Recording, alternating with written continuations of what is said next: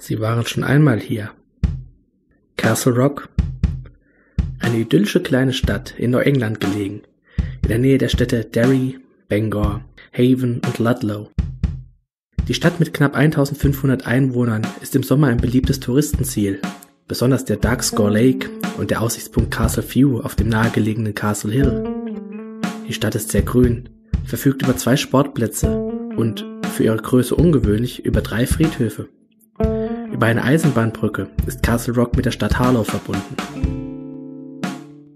Mein Name ist Gordon LaChance. Ich bin Schriftsteller. Meine Kindheit und Jugend habe ich in Castle Rock verbracht. Im Rückblick verklärt sich die Idylle der 50er und 60er Jahre vielleicht zu der Illusion einer freien, unbeschwerten Kindheit. Doch im Detail betrachtet war es eine Zeit voll Trauer, voll Angst und Gewalt. Ich denke an den Tod meines Bruders durch einen sinnlosen Unfall. Ich denke an die Freunde meiner Kindheit, die alle im Umfeld von Schmerz und Gewalt aufgewachsen sind. Ich denke daran, wie jeder darüber Bescheid wusste, was sich hinter der Fassade abspielt, aber kein Mensch jemals etwas unternahm. Wenn der alte Pressman uns von der Deponie vertrieb oder Ace Merrill uns das Leben zur Hölle machte, dann schauten die Erwachsenen weg. Die Bewohner von Castle Rock legten schon immer Wert auf den schönen Schein, doch in den Schatten brodelte es. Mit der Brille der Nostalgie mag es heute alles so aussehen wie ein großes Abenteuer. Doch wenn ich ehrlich bin, hat Castle Rock mich nicht zu dem gemacht, was ich heute bin. Ich bin, was ich bin, trotz Castle Rock. Ich habe es überlebt. Das kann man nicht von allen behaupten. Castle Rock ist eine friedliche Stadt, doch sie hat auch ihre Schattenseiten. Noch heute erzählen Eltern ihren Kindern die Schauergeschichten vom Bürger von Castle Rock, dem Polizisten Frank Dodd, der zwischen 1970 und 1975 sieben Frauen ermordete, bevor Sheriff Bannerman ihn aufhalten konnte. Der gute Sheriff erlag einige Jahre später selbst einem grausamen Schicksal. Ein tollwütiger Bernardiner namens Cujo tötete mehrere Menschen und auch der Sheriff war unter den Opfern. Es sollte nicht der einzige bösartige Hund in Castle Rock bleiben. Mein Name ist Gwendy Patterson. Ich bin in Castle Rock aufgewachsen, damals in den 70er und 80er Jahren. Ich kenne die ganzen Legenden, die sich um die Stadt spinnen. Viele davon sind wahr, auch wenn sie mit den Jahren immer unwirklicher erscheinen. Der Frauenmörder Frank Todd wurde in der Erinnerung zu einem schwarzen Mann, mit dem Eltern ihre aufsässigen Kinder erschrecken. Dass er mit Hilfe eines Hellsehers überführt wurde, weiß heute kaum noch jemand. Die meisten Menschen glauben, dass Sheriff Bannerman seinen Mitarbeiter alleine überführen konnte, doch das ist nur ein Teil dieser lokalen Legende. Sein Tod durch die Zähne eines tollwütigen Hundes hat ihn endgültig zu einem Mythos gemacht. Es sind all die kleinen und größeren Geschichten, die ihr in der Stadt kennt, aber über die niemand reden möchte. Jeder hält seine Geheimnisse. Jeder. Auch ich. Vielleicht erzähle ich Ihnen irgendwann mal davon. Doch auch weiteres Unheil suchte die Stadt heim.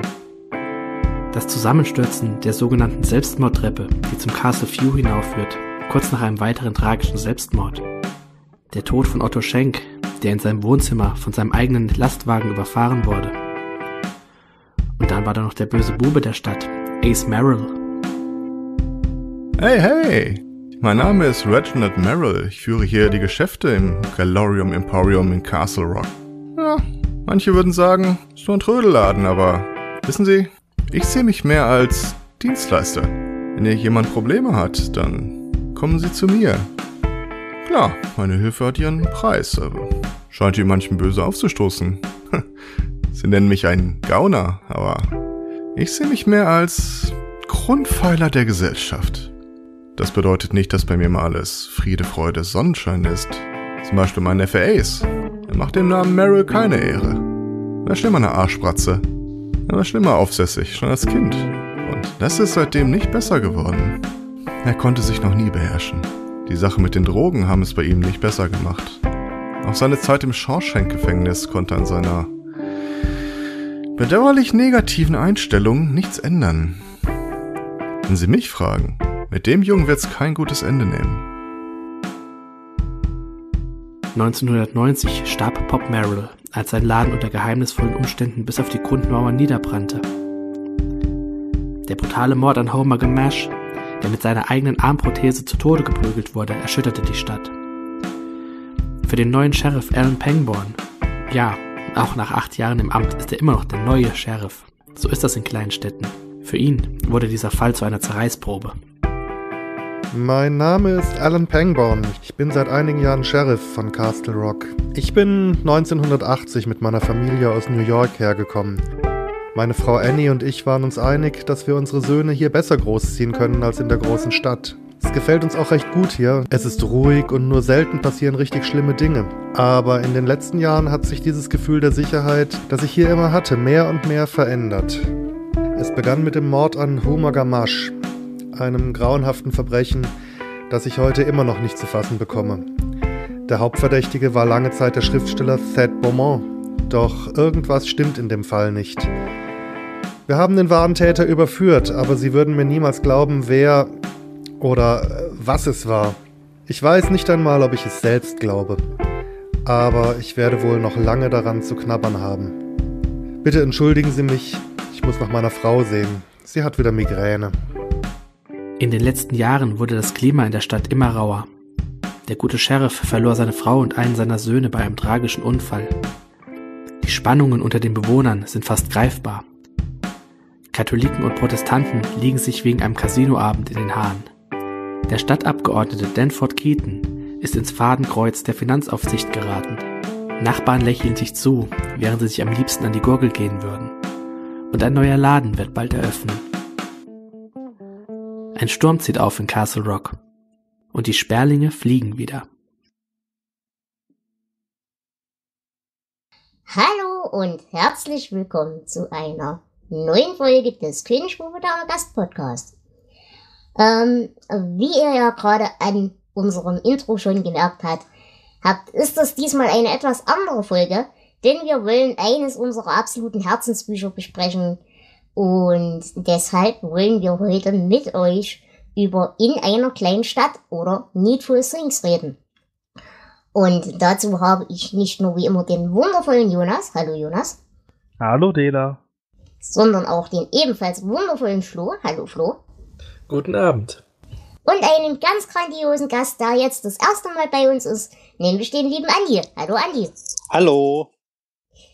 Es freut uns sehr, dass du da bist. Ähm, Ganz kurz, kennt man dich irgendwoher? Machst du irgendwelche Dinge? Sprichst du ins Internet oder irgendwas ähnliches? Ja, also ich bin bekannt von Twitter unter dem Namen Klingebiel von und zu Haselschaf. Äh, ansonsten bin ich jetzt nirgendwo weiter aktiv, höre hin und wieder da mal in einen Podcast mal rein. Und ansonsten, ja, kennt man mich weiter, ja, von Twitter ja nur. Mhm. Und wie ist es bei dir so generell mit der King-Erfahrung? Also hast du viel von ihm gelesen? Kennst du vielleicht mehrheitlich die Filme oder wie ist da bei dir die Historie?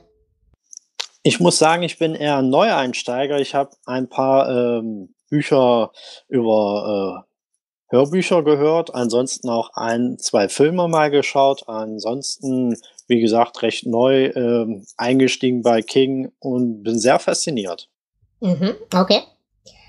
Ja, ähm, also wie gesagt, das wird diesmal eine etwas interessantere und äh, etwas andere Folge, denn äh, wie wir es auch schon bei The Stand gemacht haben, das ist halt etwas zeitintensiver.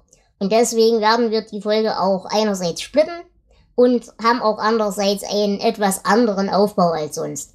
Wundert euch also deshalb nicht, wir werden erst so ein bisschen wie immer die Einordnung machen und dann gehen wir Kapitel bis Kapitel durch den Inhalt durch und dann reden wir einfach über den ganzen Rest. Ähm, ich möchte an der Stelle wieder einen kleinen Disclaimer äh, vorbringen. Wir nutzen uns bei der Inhaltsangabe, hangeln wir uns ein bisschen an der KingWiki entlang.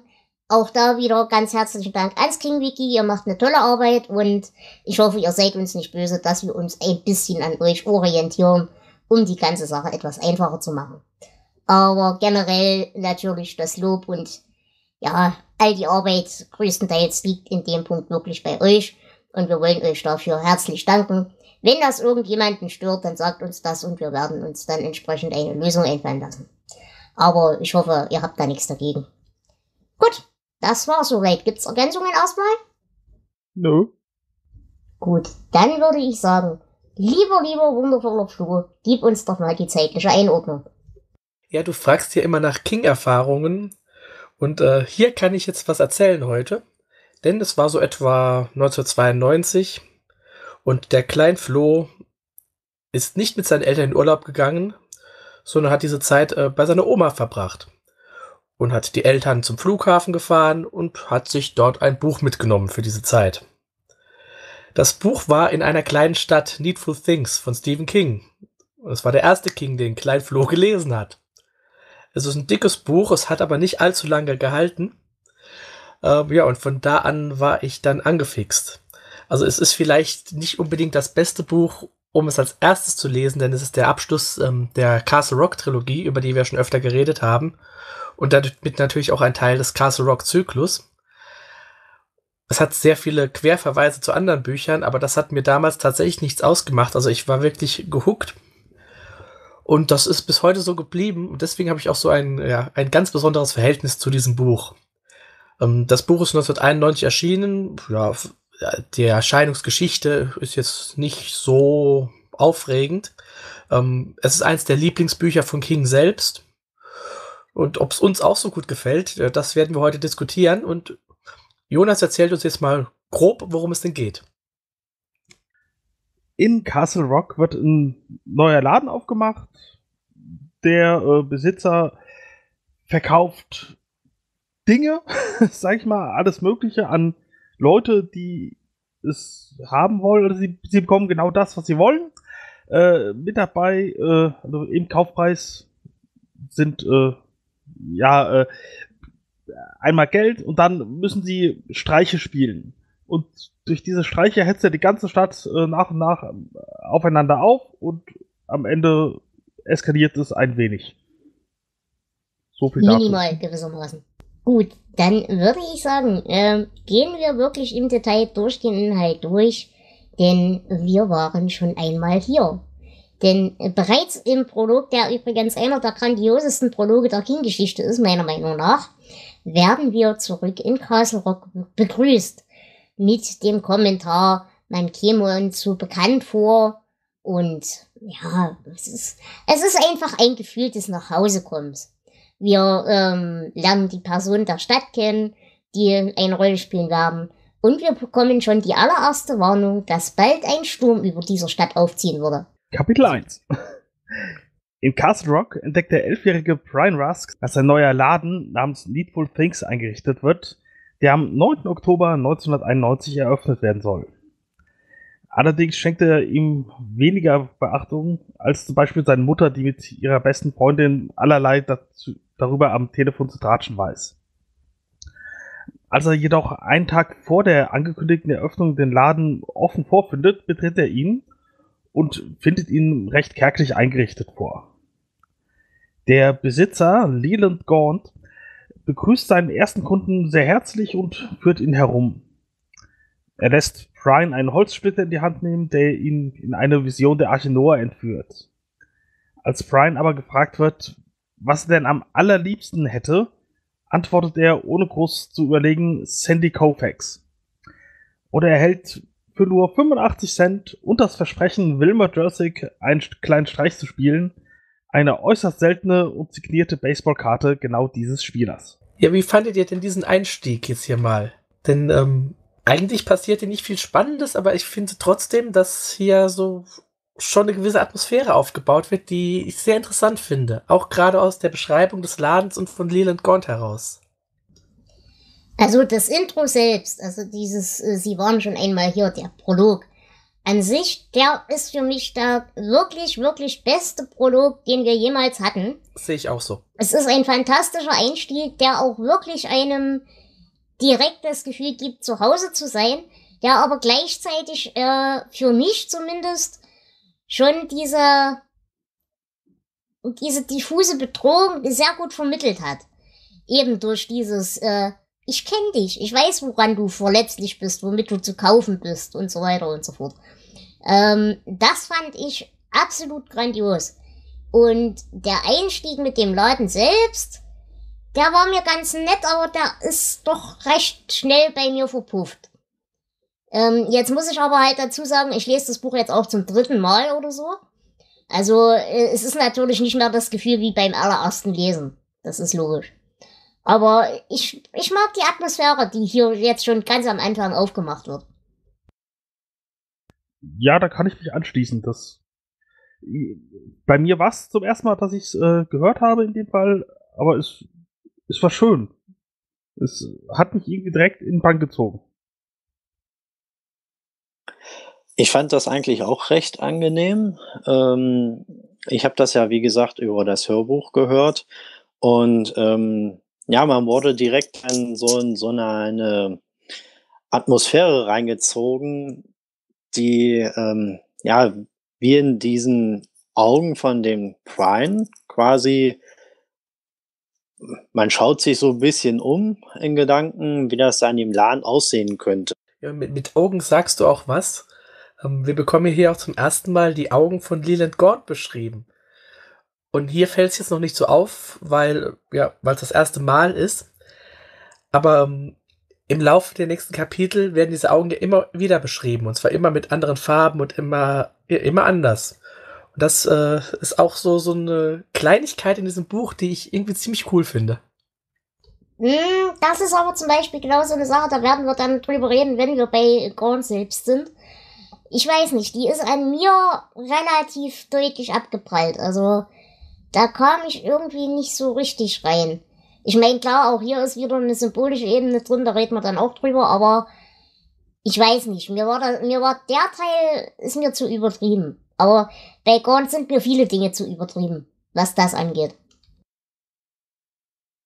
Er ist halt kein Randall Fleck. Aber er ist nah dran. Mm, no, das würde ich so gar nicht unbedingt Ja, werden wir doch besprechen, aber, ja. Genau. Nein, ich will halt sagen, es ist einfach bei ihm plakativer, finde ich. Mm, ja, wobei, ähm, so im Nachhinein glaube ich, dass das äh, schon ein Hinweis darauf ist, ähm, dass die Waren, die er verkauft, auch nicht das sind, was sie zu sein scheinen. Mm, das, das weiß man hier am Anfang ja noch nicht. Gehen wir ins nächste Kapitel? So, das Kapitel Nummer zwei. Die ähm, werte Polly Chalmers, die betritt den Laden. Sie selber besitzt auch ein Geschäft, ein Nähgeschäft. Und äh, sie hat einen Kuchen dabei, den ihre Angestellte gebacken hat, die äh, Nettie Kopp. Und ähm, als sie den Laden betreten hat, äh, war sie äh, von dem Auftritt von dem Leland Gaunt recht äh, überwältigt gewesen, sage ich mal. Ähm, sie hat regelrecht für ihn geschwärmt und ihr ist vor allem die haselnussbraunen Augen aufgefallen von Leland Gaunt. Ähm, Polly Chalmers, die leidet leider unter Arthritis und kämpft tagtäglich mit den Schmerzen in ihren Händen. Und ähm, das Problem bemerkt auch der ähm, Leland Gaunt, er spricht sie drauf an und äh, er wusste, äh, und ähm, Polly Chalmers, sie wusste erst gar nicht, woher er das wissen konnte, dass sie Arthritis hat. Ähm, Im späteren Verlauf ähm, betritt dann noch ähm, Cynthia Rose Martin noch das Geschäft. Sie ist auch die erste Kundin und erwirbt eine Vase.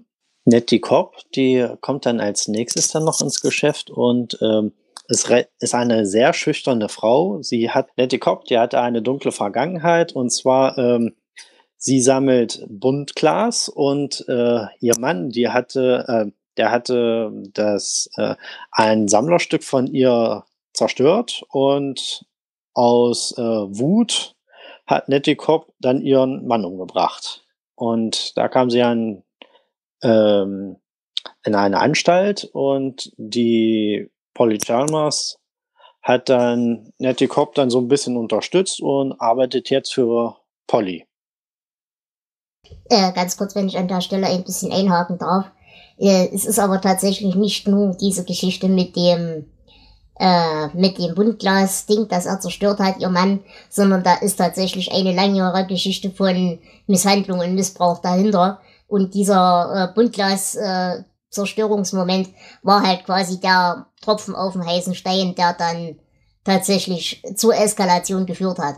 Aber es ist jetzt nicht so, dass sie voll die Psychopathin ist, die eben nur wegen dieses Buntglas-Dings da ausgerastet ist, sondern das war einfach in einer Geschichte von Missbrauch und Misshandlung der letzte Schwung, den es gebraucht hat, um sie dazu zu bewegen, dagegen was zu unternehmen. Ich denke, das ist halbwegs wichtig für den Charakter. Als äh, Leland Gaunt dann mit der Nettie dann äh, gesprochen hat und wollte ihr gern das äh, Bundglas anbieten, kam dann die Wilma Jersey in den Laden und äh, die Stimmung kippte sofort, weil Nettie Cobb recht eingeschüchtert ist von der Wilma Jersey und verließ dann sofort dann das Geschäft. Was ich an dem Kapitel interessant finde, ist, dass wir wirklich so die Stadt Stück für Stück vergrößern. Wir lernen nicht, nicht zu viele Figuren auf einmal kennen, sondern äh, es wächst und die Verbindungen wirken eigentlich relativ natürlich zwischen den Figuren. Ähm, was mir dabei aufgefallen ist, es war 1991, als er das geschrieben hat oder als es veröffentlicht worden ist. Und ich glaube, von 89, 90, 91 war auch so die, die Hochzeit von Twin Peaks. Und äh, irgendwie fühle ich mich da so von der Atmosphäre so ein bisschen dran erinnert. Ja, das stimmt auf jeden Fall. Da bist du sehr nah dran. Ähm, zumal, also ich, ich weiß nicht, wie euch das geht. Ähm, es gibt eine Serie, die nennt sich Wayward Pines. Die ist relativ neu. Die muss so irgendwann in den letzten zehn Jahren gewesen sein. Kennt ihr die? Ja, noch näher. Es ist eine Buchverfilmung. Ich kenne bis jetzt nur das ja, Buch. ich kenne auch, ich kenn Ja. auch die Bücher, aber ich habe auch die Serie gesehen. Und tatsächlich ist bei mir das Gefühl für diese Stadt, äh, die sieht in meinem Hirn aus wie Wayward Pines. Also eben dieses in so ein bisschen ländlichen Gebiet, viele Bäume drumrum und so. Und aber auch immer so komisches, diffuses, halbdunkles Licht. Also bei mir, äh, und ich kann keinem erklären, warum, äh, funktioniert in diesem Buch sehr viel über Lichtstimmung. Und die kommt hier auch schon das erste Mal durch, finde ich. Ja, ich, ich, ich verstehe, was du meinst, doch.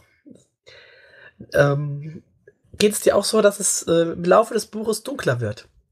Äh, ja, wobei auch schon die Grundstimmung schon ziemlich düster ist. Ja, aber am Anfang, also ich, ich, ich drücke es jetzt einfach mal so aus, wie ich es gerade denke. Am Anfang ist es noch mehr äh, natürliches Licht und am Ende ist es eher so äh, künstliches drüber. Licht. Ja, Mhm, und, genau. und ja. Ne, ist ein Und guter ich- Vergleich. Ich glaube tatsächlich, dass halt auch wirklich innerhalb dieses Ladens für mich so eine gedankliche Grenze wirklich ist. Also draußen ist am Anfang, jetzt in den ersten paar Kapiteln, tatsächlich eben noch so halbwegs normales Licht, auch wenn es da schon so, so diesig und komisch ist. Aber sobald du diesen Laden betrittst, und das wird ja auch oft tatsächlich beschrieben, dass es eben eigentlich relativ dunkel ist, aber diese Schaustücke so hervorgehoben werden und so weiter durch, durch Lichtstimmung. Und das fand ich eigentlich ein sehr, ja, eine sehr hübsche Art, das darzustellen. Und was ich auch sehr mag, nicht nur die, die Stadt selbst, sondern wie du schon sagtest, dass wir die Charaktere so langsam nacheinander kleckerweise kennenlernen, aber hier eben auch schon das erste Mal erfahren, dass es eben in dieser Stadt erstmal vielleicht unausgesprochene, aber vorhandene Rivalitäten und Animositäten und so weiter gibt. Und dass auch die so langsam wachsen und so langsam äh, eingeführt werden, das finde ich sehr natürlich und das mag ich sehr gerne an dem Buch. Ja, wir hatten das ja im Prolog, das hast du gar nicht erwähnt. Ähm, da wird ja auch schon erwähnt, dass es Streitereien äh, zwischen den Kirchen in der Stadt gibt, wegen einem Casinoabend. Mhm. Das ist so ein Satz, der so nebenher fallen gelassen wird. Und das ist eine Geschichte, die halt im Laufe der Zeit wichtiger wird. Und gerade so diese kleinen, ich sag mal, äh, Samenkörner, die fallen gelassen werden in diesen frühen Kapiteln, die dann so langsam aufgehen, äh, finde ich großartig umgesetzt. Mhm. Auf jeden Fall. Das, ich dachte auch, okay, was reden die da jetzt, dass die eine äh, religiöse Gruppe die andere nicht mag, weil die Glücksspiel verdammen, die andere wollen damit aber wohltätige Zwecke sammeln. Ach ja, ist, ist halt Kleinstadtgedöns, aber ist nicht wichtig. Und dann taucht es immer wieder auf und am Ende äh, wird es dann richtig wichtig. Gut, Ja. gehen wir ins nächste. Gehen wir ins nächste Kapitel, Kapitel 3. Und hier lernen wir jetzt eigentlich nicht unsere Hauptfigur kennen, ähm, denn wir kennen sie ja schon aus Stark. Es ist nämlich der Sheriff Alan Pangborn. Ähm, wir erfahren, was seit Stark mit ihm passiert ist, denn äh, er hatte leider ein sehr tragisches Erlebnis. Ähm, seine Frau Annie ist beim Autounfall ums Leben gekommen und auch sein äh, jüngerer Sohn Todd ist dabei gestorben. Und, und das Ganze ja, belastet ihn doch noch sehr stark. Ähm, wir erfahren auch so ein paar Sachen, äh, dass äh, aus Stark, dass Thad Beaumont zum Beispiel wieder angefangen hat zu trinken und dass seine Frau ihn mit den Zwillingen verlassen hat. Und ja, Alan versucht sich halt in seine Arbeit zu stürzen, denn es gibt einiges zu tun. Probleme hat er unter anderem mit dem Stadtratsvorsitzenden äh, Danford Buster Keaton, der es nicht mag, Buster genannt zu werden. Der hat nämlich mal wieder auf dem Behindertenparkplatz vor der Polizeistation geparkt und hat von dem Deputy Norris Ridgwick einen Strafzettel bekommen. Ellen will diesen Strafzettel jetzt hier taktisch nutzen, um ein bisschen Gelder äh, ja, von ihm abzuzweigen. Aber ähm, Buster taucht auf der Polizeistation auf und dreht fast durch. Und ähm, so muss er dann da eingreifen. Später ähm, telefoniert er dann mit Polly. Und wir erfahren hier, ähm, dass Polly ihm über den Verlust seiner Familie weggeholfen hat und dass die beiden nun seit einiger Zeit eine Beziehung haben. Um, Polly erzählt ihm so ein bisschen über den Hintergrund von Nettie, den erfahren wir hier, was Dela ja schon eben erwähnt hat. Und dass sie halt äh, fünf Jahre in einer Nervenheilanstalt war, wegen des Mordes an ihrem gewalttätigen Ehemann. Und dass sie im Moment halt große Probleme mit Wilma Jersey hat, was wir ja auch schon eben so ein bisschen mitbekommen haben. Ähm, Wilma behauptet, dass Netties Hund Raider ständig bellt. Das macht er zwar gar nicht mehr, das hat er am Anfang gemacht, aber Wilma lässt da nicht locker. Und Ellen musste sich schon öfter drum kümmern. So, in dem Abend lernen wir dann auch noch äh, Hugh Priest kennen. Der muss zu Fuß aus der Bar Mellow Tiger nach Hause gehen, weil der Barkeeper Henry Beaufort ihm nämlich den Schlüssel zu seinem Pickup nicht mehr wiedergegeben hat. Er war ihm halt ein bisschen zu betrunken. Um, Hugh geht am Needful Things vorbei und sieht da einen Fuchsschwanz in, im Laden. Und der erinnert ihn an seine Vergangenheit und den muss er unbedingt haben. Und obwohl es schon sehr spät ist, hat der Laden offen. Und Leland Gaunt ist zwar nicht gerade besonders freundlich, aber er verkauft ihm den Fuchsschwanz. Es soll dafür aber auch Nettie einen Streich spielen. In derselben Nacht ähm, hat Brian Rusk Träume. Er träumt von äh, der Lehrerin Sally Radcliffe, in die er heimlich verliebt ist. Und er träumt auch von seiner äh, Baseballkarte. Er hat Angst, sie zu verlieren und er weiß, sie gehört ihm eigentlich ja noch gar nicht wirklich, weil er muss noch einen Streich spielen, bis sie ihm wirklich gehört. Genau. Und ähm, ja, das Ganze geht jetzt in Kapitel 4 weiter. Denn, wie wir ja schon erwähnt haben, ähm, hat ja Nettie, hm, sag mal, psychische Probleme. Sie ist halt einerseits durch ihre Vorgeschichte mit ihrem Mann generell sehr eingeschüchtert und ich vermute oder ich würde ihr jetzt unterstellen, dass eben natürlich auch durch die Gerüchte und so weiter in dieser Kleinstadt das alltägliche Leben für sie auch recht schwer ist, jetzt auch unabhängig von ähm, ja der Jörschik. Ähm, denn sie ist halt immer so ein bisschen unter, ich sag mal, Beobachtung, weil sie ist ja der die die Verrückte.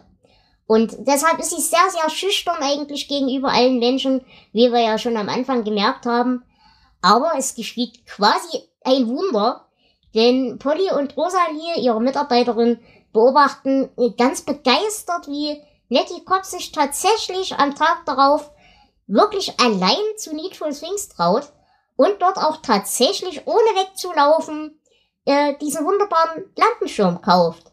Und äh, zu ihrem Erstaunen stellt Nettie auch fest, der ist sogar erschwinglich, sie kann ihn sich sogar leisten. Und ähm, ja, der Streich gegen Buster Keaton, den sie spielen soll, der klingt eigentlich jetzt im ersten Moment auch nicht sonderlich schlimm, zumal er ja jetzt auch nicht der sympathischste Mensch auf der Welt ist. Deshalb kauft sie diesen Lampenschirm unter dem Versprechen, eben diesen Streich zu spielen und verlässt glücklich den Laden, was bei den beiden ja beobachtenden Damen doch auf Erstaunen und vor allem auch auf Glücksgefühle stößt. Ähm, die Glücksgefühle empfindet Norris in dem Moment allerdings nicht, denn sobald er im Polizeirevier ankommt, wird er direkt von Buster Keaton attackiert. Und ähm, ja, er geht ihn halt an, was dem einfällt, diesen Strafzettel da zu erstellen und so weiter und so fort. Und ja, es, es kommt zu einer, ich nenne es mal recht einseitigen Prügelei, die allerdings Ellen rechtzeitig noch schlichten kann. Ähm, beide entschuldigen sich, man weiß aber, dass das überhaupt nicht ernst zu nehmen ist. Aber hier finden wir, glaube ich, das erste Mal so richtig den, den Hauptwesenszug von Buster Keaton, denn Ellen bemerkt, wie nervös und unruhig und zappelig äh, Buster sich in seinem Büro da so benimmt. Und ja, er macht halt recht deutlich klar, dass ja Handgreiflichkeiten gegen seine Beamten absolut nicht drin sind und so weiter. Aber das Ganze geht an Buster komplett vorbei. Der ist total überdreht und total übernervös und so weiter. Was Ellen dazu veranlasst, ihm sogar seine Hilfe anzubieten. Die wird allerdings dann recht unwirsch abgelehnt. Der Tag wird auch nicht unbedingt sonderlich besser für Ellen, denn als nächstes darf er sich mit den schon erwähnten Kirchengruppen äh, beschäftigen, denn er bekommt äh, Besuch von dem protestantischen Reverend William Rose. Und der möchte sich natürlich wie üblich über diese dämliche Casino-Nacht beschweren. Und ähm, ja, lässt sich halt recht ausgiebig über seinen Konkurrenten John Breitham aus. Ähm, aber auch hier kann Ellen eigentlich nur mit den Schultern zucken und sagen, dass eben das Ganze kein Rechtsverstoß im eigentlichen Sinne ist und er deswegen nichts tun kann. Äh, das will Rose aber natürlich echt nicht gern hören. Und ja, man merkt auch hier schon, dass das Ganze in einem ungesunden Maße, ja, ich sag mal, hochkocht. Es bleibt zwar immer noch alles noch normal, aber man merkt hier, glaube ich, schon, dass das Ganze sehr viel Potenzial zur Eskalation hat. Eskalieren, äh, ja, Eskalation gibt's in diesem, äh, in diesem Moment auch in Needful Things, denn Gorn zeigt jetzt hier das erste Mal eine etwas andere Seite von sich, denn Myra Evans äh, möchte gerne unbedingt ein Elvis-Bild kaufen. Und äh, es geht nicht nur darum, dass sie das gerne besitzen möchte, sondern sie möchte es vor allem ihrer Freundin Cora Rusk ja wegnehmen, schlicht und ergreifend. Und sie ist unglaublich scharf auf dieses Bild. Was ich übrigens auch sehr lustig finde, weil hier, glaube ich, in dieser Szene zum ersten Mal dieses Suchtpotenzial dieser Gegenstände auftaucht. Und sie möchte wirklich alles dafür geben. Sie bezahlt nicht nur den unerschwinglichen Preis von 140 Dollar, sondern ja, spielt halt tatsächlich mit ihr und ist in dem Moment auch wirklich grausam. Äh, er sagt, ja, sie soll ihm einblasen. Und auch dazu wäre sie voll bereit und so weiter und so fort. Äh, hat da überhaupt keine Probleme, erniedrigt sich da komplett. Ähm, nur Gon schlägt dann halt äh, ihre Hände weg und ist recht angewidert von ihr und verkauft ihr dann letztlich dieses Bild für 140 Dollar und einen Streich an Henry Beaufort. Ähm, Brian, über den haben wir ja gerade im letzten Kapitel schon geredet, nachdem er von seinem Traum aufgewacht ist, ist er hin und her gerissen. Einerseits weiß er, er möchte diese Baseballkarte nicht verlieren, aber er hat halt trotzdem so ein bisschen Probleme mit diesem, mit diesem Streich. Aber äh, die, ja, die Vorstellung, dass Grant ihm die Karte wieder wegnimmt, ist ihm dann halt tatsächlich doch zu viel. Und deshalb entschließt er sich, die ganze Sache durchzuziehen. Er fährt also zu Wilma Wircheks Haus, um ihre Wäsche mit Schlamm zu beschmutzen. Und ja, der, der Witz ist halt daran, da dass es ihm tatsächlich so geht, ähm, wie soll ich sagen, er, er hat ja erst im ersten Moment tierische Angst, dass das Ganze schief geht. Aber es ist tatsächlich so, dass er während dieser Aktion voll Gefallen daran findet, eben ihr was auszuwischen. Und, und, und er, er findet Spaß an dieser Grausamkeit, die er da begeht, auch wenn sie ja im ersten Moment harmlos ist. Und er geht dann heim, ist recht zufrieden mit sich und der Welt und sitzt dann zufrieden vor seiner Baseballkarte. Wie fandet ihr denn dieses Kapitel? Denn das, finde ich, ist eines der Schlüsseldinger schon ganz am Anfang. Weil wir eben hier wirklich das erste Mal dieses, dieses Suchtpotenzial tatsächlich sehen. Und die Bereitschaft für diese Gegenstände alles zu tun, was nötig ist. Ja, das äh, stimmt, das kommt jetzt erstmal vor, aber ich, ich glaube, in diesem speziellen Fall kommt da noch dieser Neid unter Freundinnen mit rein. Mhm. Die, die ja, quasi Freundinnen, die zusammen am Telefon über alles Mögliche lästern, sich gegenseitig dann aber doch auch nichts weiter gönnen. So, ja, ich sag mal, die, wie die Klischee-Hausfrau in amerikanischen Filmen. Ja. Würde ich sagen. Und ja, da auch die, die Suchtpotenzial, das, äh, ja doch, das, das wird sehr deutlich. Eben vor allem nicht nur bei Myra, ich meine, da ist es sehr plakativ, aber eben finde ich auch bei Brian, also wirklich dieses, ähm, ja, dieses Gefühl der Angst, der Verlustangst, also das fand ich schon sehr krass dargestellt hier und sehr schön. Äh, ja, das, ja, das, schließt sich schön an das letzte Kapitel schon an.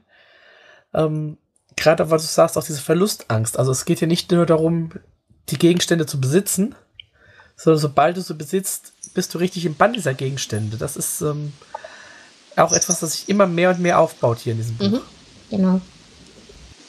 Von dem Charakterwandel von Leland Gaunt war ich in diesem Kapitel sehr überrascht gewesen, weil ich damit überhaupt nicht gerechnet habe, wie weit äh, der jetzt ähm, gegenüber Myra Evans aufgetreten ist. Quasi, äh, ja, wie, wie kann man sagen, ähm, erst sehr freundlich und jetzt auf einmal so obszön äh, mit Verlangen, ja, hier, äh, blas mir ein, so eine Art.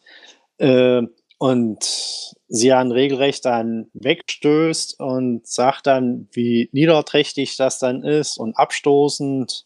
Also es war schon sehr interessant gewesen, wie äh, der Wandel auf einmal da war. Mhm. Was auch hier, äh, glaube ich, meine persönliche Lieblingsszene ist. Und ich glaube, die löst auch so ein bisschen aus überhaupt, dass er so reagiert. Ist ja die Tatsache, während äh, Myra dieses Elvis-Bild in der Hand hält, hat sie ja einen Orgasmus. Denn das ist ja das, was dieses Elvis-Bild aus, äh, ja, auslöst und tut. Und ähm, wie gelangweilt Gunther daneben stand und genervt mehr oder weniger schon, das fand ich so fantastisch. Das war eine der besten Szenen in diesem Buch. Und das löst dann eben natürlich auch wieder aus äh, diesen, diesen Kontrast zwischen ihm sind diese ganzen profanen Dinge zu unwichtig. Er findet seine Erfüllung eben darin, andere Leute mit dem zu quälen, was sie am meisten möchten. Ich glaube, dadurch hat es diesen sexuellen Kontext. Ja, das könnte durchaus sein. Okay, wollen wir weitermachen? Jo, in Kapitel 5 äh, treffen sich Ellen und Polly in Nans Restaurant. Polly berichtet von Needful Things und dass Gaunt wohl genau das Richtige für sie hätte. Hugh Priest hat Angst, seinen Fuchsschwanz zu verlieren und hütet ihn wie ein Schatz. Außerdem gibt er den Vorsatz auf, zu den anonymen Alkoholikern zu gehen und säuft weiter. Wilma Jersey findet die total verschmutzten Laken vor und bekommt einen Wutanfall, indem sie Nettie anruft und wüst beschimpft. Die ist dann furchtbar eingeschüttert und hat Angst um ihren Hund Raider. Norris Ridrick hat eine Magenverstimmung, die ist allerdings wie verflogen, als er im Schaufenster von Needful Things eine Basunangel sieht, wie sein Vater eine hatte und er beschließt, sie zu kaufen. Ja, auch in diesem Kapitel ähm, wird die Stadt wieder größer, also nicht nur von den, den Menschen her, sondern auch ähm, vom Hintergrund der Menschen, sage ich mal. Wir erfahren auch mehr über Polly, die ja sehr stark unter Arthritis leidet und ähm, die Ellen nicht immer so ganz ehrlich über ihre Schmerzen Auskunft gibt. Und äh, wir erfahren auch so ein bisschen über die Hintergründe von Buster, warum der vielleicht so ja sehr aufbrausend ist. Also äh, der scheint familiär doch auch schon ähm, vorbelastet zu sein. Es muss wohl einige ähm, psychisch kranke Familienmitglieder gegeben haben in seiner Familie. Und das fand ich halt tatsächlich sehr schön. Ähm, einerseits dieses Verhalten von Polly wegen ihrer Schmerzen. Ich glaube, jeder Mensch, der chronisch krank ist und mit anderen Menschen, die er auch lieb hat, interagieren kann, muss, soll, ähm, der kennt dieses Problem. Das ist halt ein gewisser Gewissenskonflikt einerseits sich zu rechtfertigen, warum manche Dinge zum Beispiel gerade nicht gehen, aber andererseits eben dieses Bedürfnis, andere Leute, die man liebt, äh, nicht zu beunruhigen und vor allem nicht zu belästigen mit Dingen, an denen sie eh nichts ändern können. Und das hat mir, und darüber werden wir auch öfters noch reden, bei Polly auch sehr viel, sehr viel Tiefe gegeben, wie ich finde. Und ja, auch diese, diese Vorgeschichte von, von Buster, das fand ich als solche gar nicht unbedingt sonderlich überraschend und auch eigentlich zwar wichtig für den weiteren Verlauf der Handlung. Es ist allerdings ja relativ irrelevant, ob da jetzt alleine einen Klatsch weg hat oder nicht. Aber was ich schön an dieser Szene fand, war eben, dass das Dinge sind, die man nur als Einheimischer logischerweise wissen kann. Und als jemand, der eben schon immer in dieser Stadt war und immer in dieser Stadt groß geworden ist. Und dass das Dinge sind, die zum Beispiel einem Ellen, der ja trotzdem, dass er schon lange da ist, von außerhalb kommt, nie so richtig offenbart werden würden. Außer wenn er halt jemals den Verdacht hat und direkt danach fragt. Es würde ihn nie jemand darüber anlügen, aber man würde ihm das nie freiwillig erzählen, ohne, ohne Bedarf. Wobei man ja auch sagen muss, dass auch Polly nicht ihr ganzes Leben in der Stadt verbracht hat, aber da kommen wir ja später noch drauf. Ähm, nee, das, das sind so die Sachen, die weiß man als Bewohner einfach. Da redet man nicht drüber. Äh, da weiß jeder drüber Bescheid. Und wenn es später im Fernsehen kommt, sagt man nur, ach, er war immer so ein ruhiger Nachbar. Genau. Ja. Wobei das hier ja dann tatsächlich schon wieder interessant ist, dass er überhaupt mit dieser Vorgeschichte es geschafft hat, in dieses Öffentliche anzukommen. Ne? Das fand ich an der Stelle auch ganz interessant. Ja, aber ich glaube, auch das ist so ein Kleinstadtding. Hm, Ja, aber gerade zum Beispiel eine Nettie mit ihrer Vorgeschichte, da würde keiner auf die Idee kommen. Ja, Ja. das ist wahrscheinlich der Unterschied zwischen Soziopath und Psychopath. Mhm. Nein, aber das, das fand ich einen ganz hübschen Seitenhieb eigentlich auf die ganze Sache. Okay, wollen wir weitergehen? Jo. Dann, Andi, du wärst, glaube ich, dran. In dem nächsten Kapitel, da lernen wir eine weitere Person kennen, und zwar ist, äh, Pete Jersig, der Mann von der Wil äh, Wilma Jersig. Ähm, er ist sehr gestresst von seiner Arbeit und vor allem von seinem Eheleben und deshalb hat er auch Beruhigungsmittel von dem Dr. Ra- Ray Van Allen verschrieben bekommen. Und äh, davon darf seine Frau aber nichts wissen. Hin und wieder, wenn er merkt, äh, bei Wilma ist es wieder so weit, dass sie am Austicken ist und kurz vorm Überkochen, äh, dann äh, gibt er heimlich auch ähm, Beruhigungsmittel in ihren Tee, damit sie dann halt wieder so abkühlt und wieder runterkommt. Und das ist auch äh, der Fall, weil sie ähm, sehr erbost ist über äh, Nettie, wegen der Geschichte, wegen ihren Hund. Und ähm, ja, und Wilma, die hat es dann schon so weit äh, getrieben, dass sie dreimal täglich an dem Haus von Nettie vorbeigefahren ist, um sie komplett einzuschüchtern. Und ähm, Nettie hat dann auch schon so Angst bekommen, dass sie äh, nicht mehr auf Arbeit äh, gehen möchte, weil sie Angst hat um ihren Lampenschirm, den sie gekauft hatte.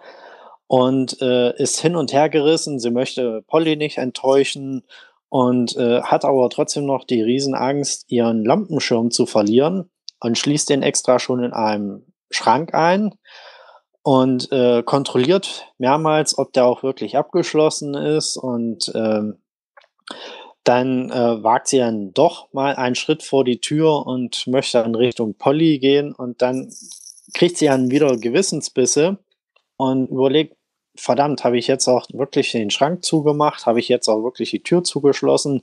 Und das ging dann so weit, dass sie nicht mehr in der Lage war, auf Arbeit zu gehen und dass sie total verängstigt äh, mit Wahnvorstellungen ähm, zu Hause sich hingesetzt hat, hat Polly Bescheid gegeben, ja, hier, ich kann leider nicht kommen.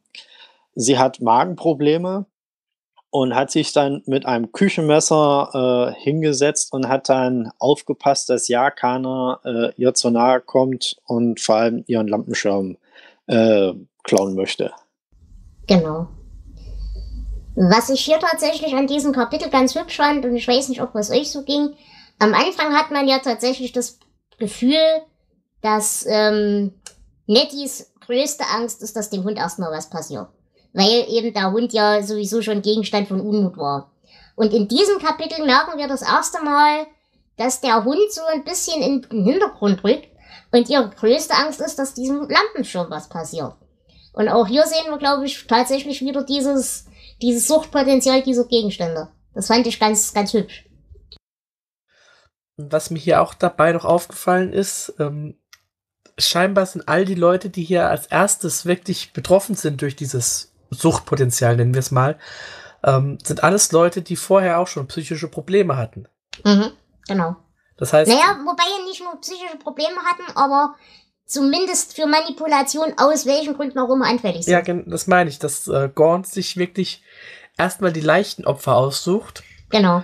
Und die schwierigeren, wie Ellen zum Beispiel, sich äh, länger aufhebt. Mhm, stimmt. Hier wäre noch erwähnenswert, ähm, der Hund, den äh, Nettie hat, dass das ein Geschenk von ihrer Freundin äh, Polly gewesen war. Mhm. Ja, äh, überhaupt, ich finde diese Freundschaft zwischen Nettie und Polly, die geht ja über das Berufliche weit hinaus, ähm, finde ich eigentlich ganz gut beschrieben. Also, ähm, da haben wir schon definitiv Unrealistischeres gelesen. Auf jeden Fall. Das definitiv, ja. Überhaupt auch die, die Ehe, ähm, die Ehe der Jerseys. Auch hier habe ich diesen, diesen Twin Peaks-Vibe. Ähm, es gab, ich glaube, die Figur heißt auch Pete in, in Twin Peaks. Die auch mit, der auch mit dieser herrschsüchtigen äh, Sägewerksbesitzerin verheiratet ist. Ähm, das hat mich wirklich sehr hier dran erinnert. Da auch dieser eher ruhige, ähm, Pete, der auch so ein bisschen hinterhältig ist und ihr die, die Tabletten in den Tee gibt und diese, ja, aufbrausende äh, Wilma, also die ganzen, die ganzen äh, Verbindungen dieser Personen finde ich wirklich gut beschrieben. Ja, und vor allem auch die Tatsache, dass quasi der Arzt ihm, also er weiß, dass die Arbeit, die er hat, zwar ein ja, ein hohes Stresslevel hat und so weiter.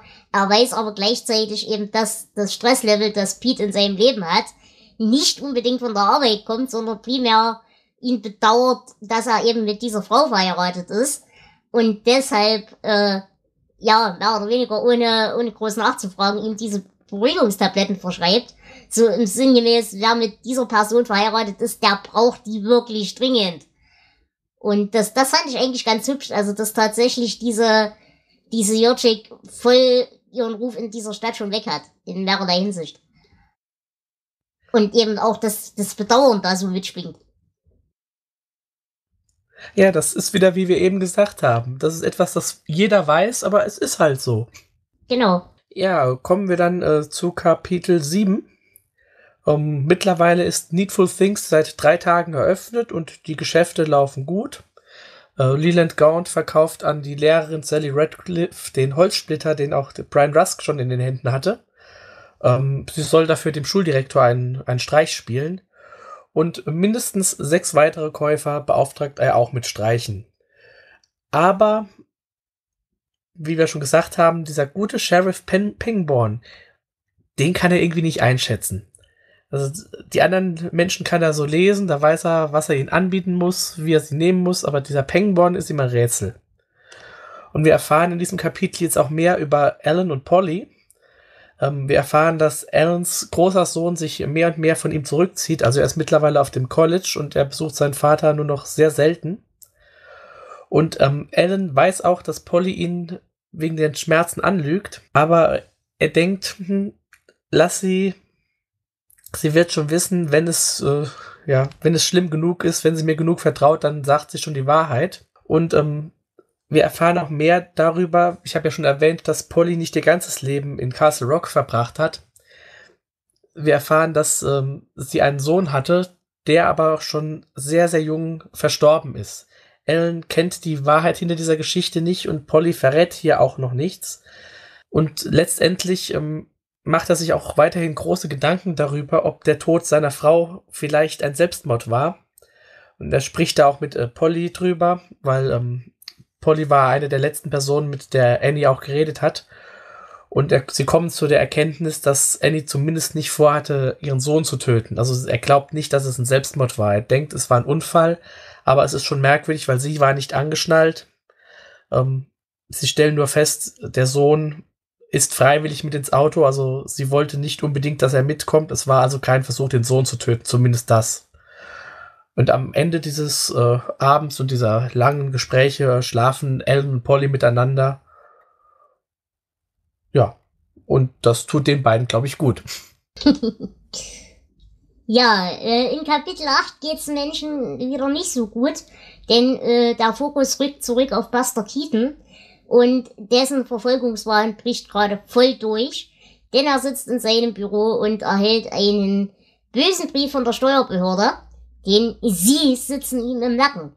Sie haben nämlich herausgefunden, dass er ähm, ja größere Schulden gemacht hat, weil er spielsüchtig ist und sein ganzes Privatvermögen äh, an der Pferderennbahn verloren hat, was ihn dummerweise auch dazu äh, verleitet hat, nicht nur Steuern zu hinterziehen und die, sondern auch die Steuergelder und die Gelder der Stadt zu unterschlagen und abzuzweigen.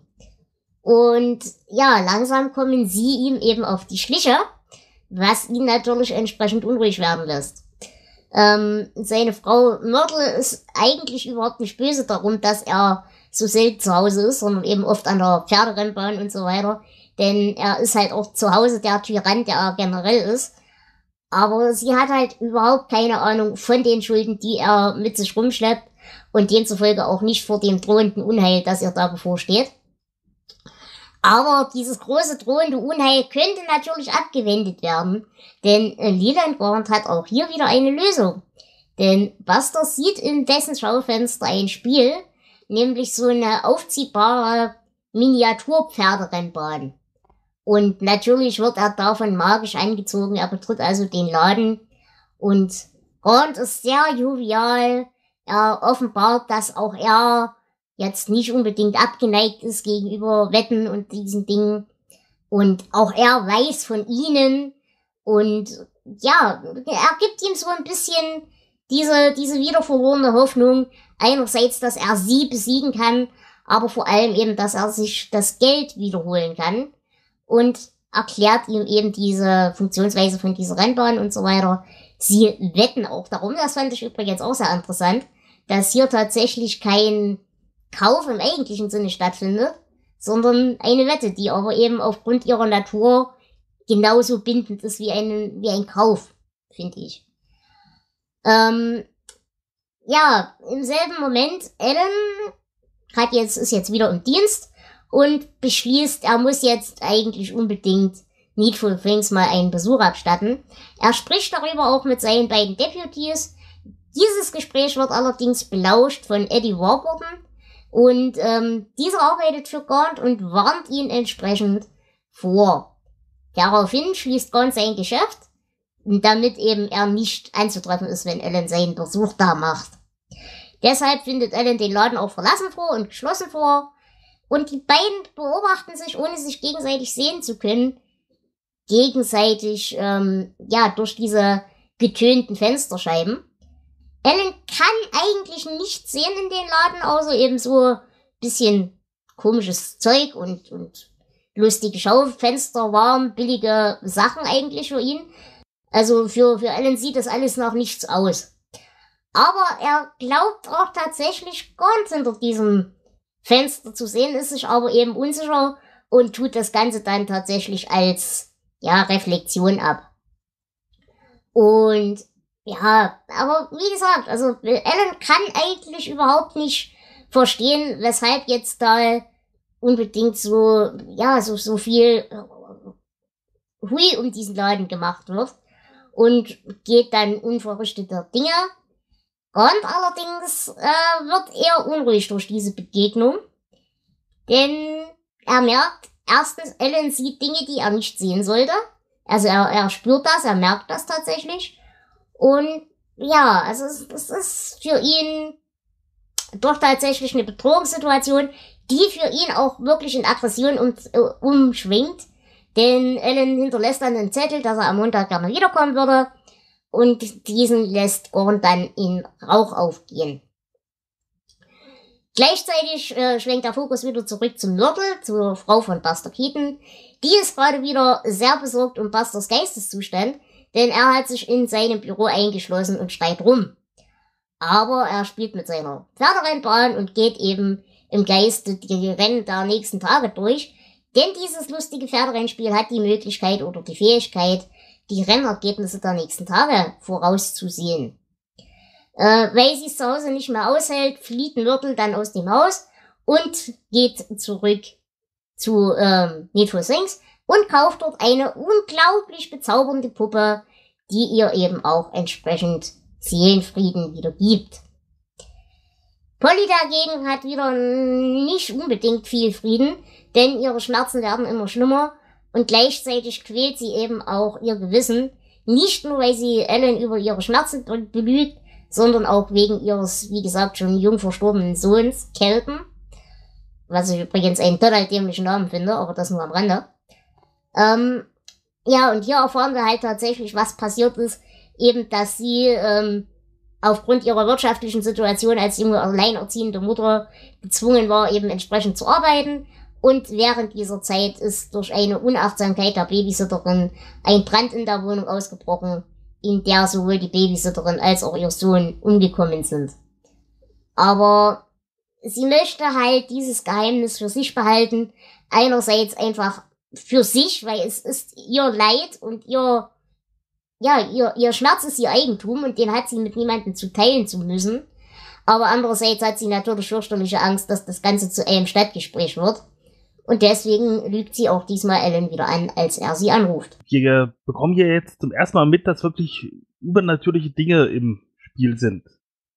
Einmal das mit dem Zettel, der in Flammen aufgeht. Also Gaunt hat zumindest übernatürliche Fähigkeiten, äh, wenn er nicht sogar ein übernatürliches Wesen ist.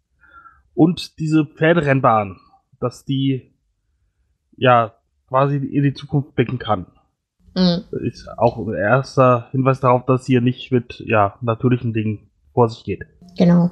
In Kapitel 9 gelingt es dann, Nettie sich selbst zu überlisten und Polly eine selbstgemachte Lasagne nach Hause zu bringen. Da diese äh, gerade besonders starke Schmerzen in den Händen hat, kümmert sich Nettie rührend um sie und gibt ihr das Versprechen, Mr. Gaunt aufzusuchen und ihn zu einem Hausbesuch zu bewegen. Äh, dort wird sie dann, also bei Gaunt wird sie an den Streich erinnert, den sie ja Buster spielen äh, sollte. Und währenddessen ist Hugh Priest in Netties Haus eingebrochen und hat ihren Hund Raider getötet und eine Nachricht angeblich von Wilma Jurassic hinterlassen. Brian führt einen zweiten größeren Streich aus, indem er alle Fenster der Jurassic mit Steinen einwirft, an denen vermeintliche Botschaften von Nettie befestigt sind. Die Jurassics sind währenddessen in der Kirche, sodass sie da nichts mitbekommen. Aber auf seiner Flucht wird er von einer Nachbarin gesehen, kann sich jedoch herausreden. Mm, was ich hier ganz interessant finde, ist tatsächlich, ähm, ich glaube, am wichtigsten dieser Punkt, dass wir hier das erste Mal erfahren, das Ding und dieser Kaufvertrag ist eben nicht abgeschlossen, wenn der erste Streich gespielt ist, sondern der Handel ist dann abgeschlossen, wenn Gaunt sagt, er ist abgeschlossen. Weshalb eben Brian irgendwo dazu gezwungen ist, auch diesen zweiten Streich zu spielen. Was ja eigentlich überhaupt nicht Bestandteil der Abmachung war. Das finde ich hier sehr beachtlich an der ganzen Sache. Ja, und da wurde Gaunt mir unsympathisch, weil er sich nicht an diesen Vertrag hält mhm. sondern was hinzufügt. Vorher dachte ich, ah ja gut, macht halt Handel, äh, Handel und äh, wer darauf eingeht, ist selbst schuld, aber dies nochmal dazufügen, da hat er meine Sympathie verloren. Ja, bisher war er so irgendwie ähm, sehr auf Ordnung bedacht und das stört diesen Gesamteindruck so ein bisschen. Ja. ja. Fandet ihr die Szene mit dem Hund auch so schlimm? Also, Natürlich. Also ich fand das sehr heftig, ähm, vor allem ähm, man konnte richtig nachfühlen, wie das dann äh, richtig extrem wurde. Quasi der Hund erfreut sich erst richtig und dann äh, wird dann so übles äh, wieder erfahren. Das ist schon sehr heftig. Also ich fand das sehr unangenehm. Ja, vor allem, was ich halt immer wieder, aber das geht mir bei allen Büchern so feststelle, da können sich Menschen gegenseitig die Gedärme rausschneiden. Das ist mir scheißegal. Aber lass das Hundi in Ruhe. Ja, das, das ist aber, ich glaube, das geht jedem so. Äh, Menschen, ach, was soll's, die bringen sich ständig um, aber der arme Hund ja, hat doch nichts gemacht. Richtig. Ja. Man könnte auch noch hinzu äh, sagen, dass ähm, nachdem der Priest das gemacht hatte, äh, regelrecht geläutert wurde, was er gerade angestellt hat und panisch dann das Haus verlassen hat. Mhm. Ja, das stimmt. Was ich hier in dem Kapitel aber wirklich noch richtig schön fand, war tatsächlich diese, diese Szene mit dem Hausbesuch. Also wie die beiden Frauen Polly und Nettie miteinander interagieren. Äh, Flo, du hattest ja gerade schon gesagt, das ist tatsächlich eine der realistischsten Freundschaften, die wir jemals hatten in einem King-Buch. Und das fand ich grandios. Also diese ganze Interaktion zwischen den beiden und auch diese Beschreibung von, von Pollys Verhalten während dieser Schmerzen und so weiter. Das fand ich unglaublich eindrücklich und unglaublich realistisch. Ja, auf jeden Fall. Und äh, King macht ja auch an diesem Teil des Kapitels etwas, das er eigentlich immer gerne macht. Ähm, er nimmt was vorweg. Und der letzte Satz ist ja, ähm, es war das letzte Mal, dass Polly sie lebend sah. Und dieses, ich, um das, auf das zurückzukommen, was wir vorhin gesagt haben, für mich äh, geht, wird hier das Licht dunkler. Mit hm? diesem Satz fängt's an. Mm, mm, naja, fängt an, ist zu viel gesagt, aber hier ja, wird's dann richtig dunkel, ja. Ja, vorher gab's schon mehr, aber ab hier ähm, eskaliert es halt immer mehr und mehr. Ja, richtig. Diesen letzten Satz, den äh, Nettie zu Polly gesagt hatte, das war für mich dann so ein richtiger Gänsehautmoment, wo dann der Erzähler sagt, ja, das sind die letzten Worte, die Nettie zu mhm. Polly sagt. Das war schon richtig heftig. Also war schon nicht ohne. Ja, wie gesagt, da, auch da muss ich wieder sagen, das ist leider wieder an mir vorbeigegangen, weil ich eben die Geschichte schon kenne. Also wie gesagt, ich habe das jetzt zum dritten Mal gelesen. Das hat nicht mehr den Effekt, wie es hatte beim ersten Mal lesen. Aber was mir wirklich nahe ging, war diese Beschreibung der, der Nacht von Polly. Also eben diese Schmerzen, dass sie so unfähig ist, dass sie eben nicht mal mehr in der Lage ist, an die Schmerztabletten ranzukommen, aber gleichzeitig sich so dringend braucht, dass sie sich dazu erniedrigt, die tatsächlich mit der Zunge zu angeln. Und als Mensch, der in diesem Zustand schon oft und zu oft war, das ist eine Beschreibung und eine das war zu nah an der Wahrheit. Also das war eine Szene, die hat mir tatsächlich, die hat eingeschlagen bei mir. Und zwar echt extrem. Und natürlich ist gerade das wirklich auch diese Selbsterniedrigung, die mit Schmerzen einhergeht, zwangsweise, ähm, ist natürlich ein ganz relevanter Punkt dafür, weshalb Polly letztendlich genauso manipulierbar ist, wenn nicht sogar schlimmer manipulierbar wäre, als all diese Menschen, die eben vielleicht entweder eh schon einen, psychischen Knacks weg haben oder einfach aus Boshaftigkeit oder aus Neid oder aus äh, ja anderen Gründen eben manipulierbar sind. Aber gerade bei ihr hat das ja einen ja, sie ist halt ein Einfallstor, ein extremes. Und das fand ich sehr, sehr, sehr interessant, wie es hier beschrieben wurde. Überhaupt finde ich, ähm, dass wir hier in diesem Buch, glaube ich, mit die realistischsten Figuren haben, die wir bis jetzt hatten. Also vor allem auch in der Menge. Wir hatten ja schon öfter Figuren, okay, die konnte man gut nachvollziehen. Aber hier ist bis jetzt noch keine dabei. Gut, ich mache bei Leland Gaunt ein paar Abstriche vielleicht, aber das ist auch ein Sonderfall. Aber es ist keine Figur dabei, äh, die ich jetzt hier so komplett erfunden fühle.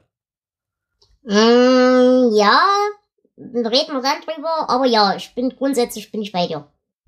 Gut, gehen wir ins nächste Kapitel. Jawohl, ähm, in dem Kapitel Nummer 10 geht es darum, dass sich äh, Myrtle Keaton hat sich gewundert, äh, was ist passiert? Auf einmal wie ein Wunder verhält sich ihr Mann ganz anders als sonst, weil sonst äh, kennt sie ihre Ehe nur daher, dass sie regelrecht immer angebrüllt wird, beleidigt wird. Und ähm, naja, auf jeden Fall ähm, wundert sie sich, dass ihr Mann jetzt ganz wie gewandelt äh, sehr freundlich und äh, zuvorkommend ist. Ähm, ist sehr nett zu ihr. Ähm, und der Tag, der fängt an, dass sie äh, zusammen schlafen. Abends gehen sie gemeinsam äh, nett essen. Ähm, Liebeleien werden ausgetauscht und, und Myrtle hat wirklich gedacht, ähm, ja, vielleicht hat sich ja jetzt mal Mann geändert und die nächsten Jahre, die werden noch richtig schön. Und ähm, sonst, wenn sie unter der Angst äh, gelitten hatte, die äh, von ihrem Mann eingeflößt wurde, hat sie sich immer zurückgezogen und hat dann ähm, ähm, mit Puppen gesprochen, hat sie ein äh, liebevoll umarmt und hat dann da ihren Schutz gesucht. Und ja. Sie wusste aber leider nicht, äh, woher das kommt, dass der ähm, Buster sich gewandelt hatte. Das lag nämlich daran, dass der Buster einen Tag vorher 18.000 Dollar an der Pferderennbahn gewonnen hatte durch die äh, äh, Tipps, die er erfahren hatte durch das Spiel, was er von dem Leland Gaunt gekauft hatte. Und ja, Buster, der hat sich wohlgefühlt und hatte äh, gedacht, er könnte damit dann auch einen Teil seiner Schuld begleichen und war erstmal sehr glücklich gewesen in dem Moment. In der Abwesenheit von äh, Myrtle und Buster hatte sich dann Nettie in das Haus eingeschlichen von dem ähm, äh, von den Keatons und hat dort überall, egal wo sie hingegangen ist, hat sie Strafzettel mit dem Namen Norris Ritchwick äh, äh, befestigt. Ähm, mit unterschiedlichen äh, Verfahren, äh, Vergehens, äh, Vergehen, ähm, zum Beispiel der größte Penner in Castle Rock oder halt falsch parken auf dem Behindertenparkplatz oder Veruntreuung und, und, und. Überall in der ganzen Wohnung wurden die Strafzettel verteilt, dass man, egal wo man hingeschaut hat, dass man überall auf diese Zettel äh, gestoßen ist. Zur Nettie verspürt dann auf einmal, dass dann ähm, die Keatons auf dem Heimweg sind und äh, äh, wird nervös und bricht leicht in Panik aus.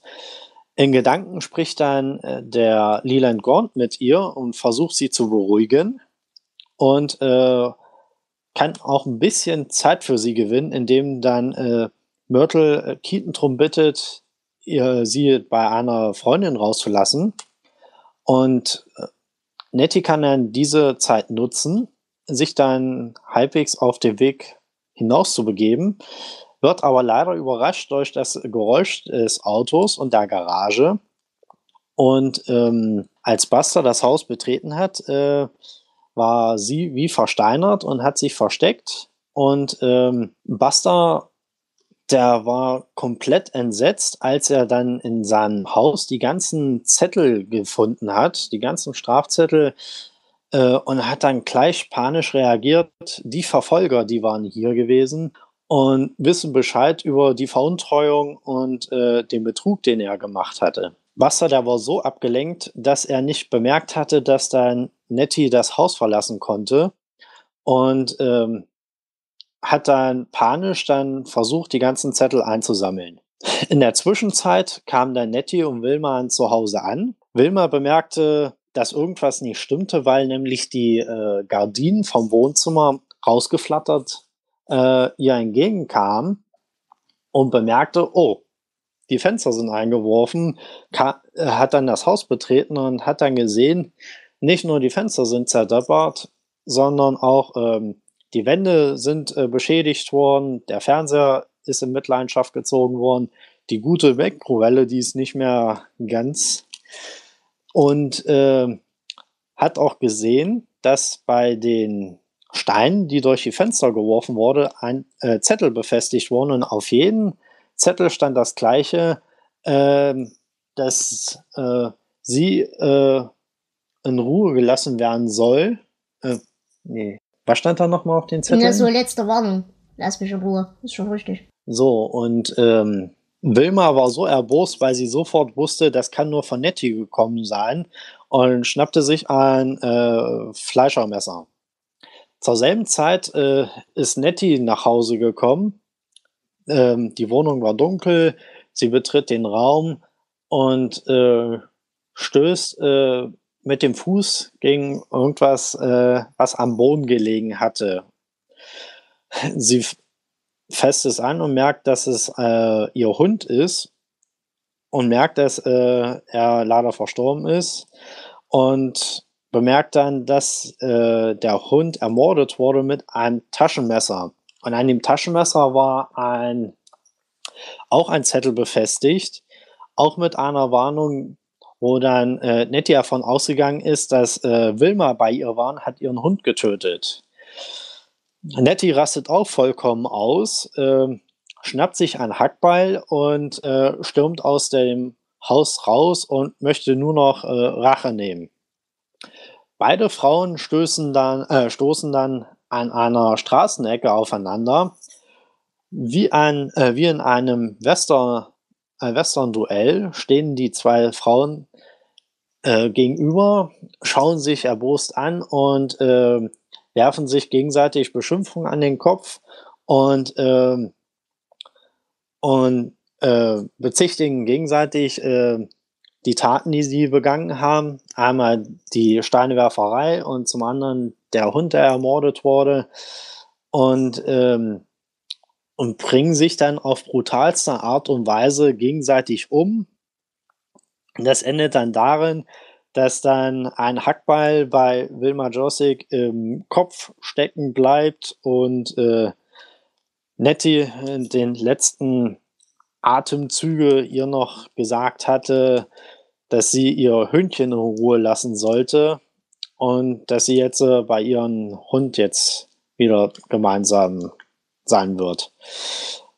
Ja, ineinander verschlungen lagen dann beide Frauen am Straßenrand und eine große Blutlache kam her, trat um die Damen herum und eine Nachbarin, äh, die panisch das äh, beäugt hatte, hat dann die Polizei gerufen und ja, das war das Ableben von Nettie Kopp und Wilma Josic.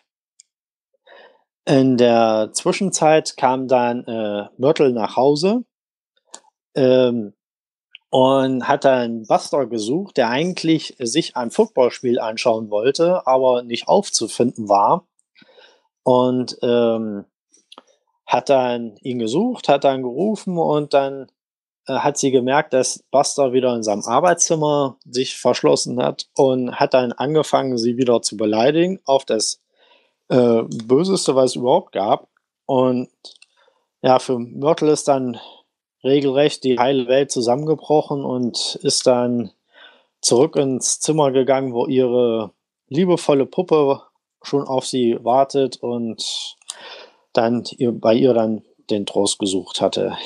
Bei diesem Kapitel fand ich das sehr extrem, wie das dann ausgeartet ist.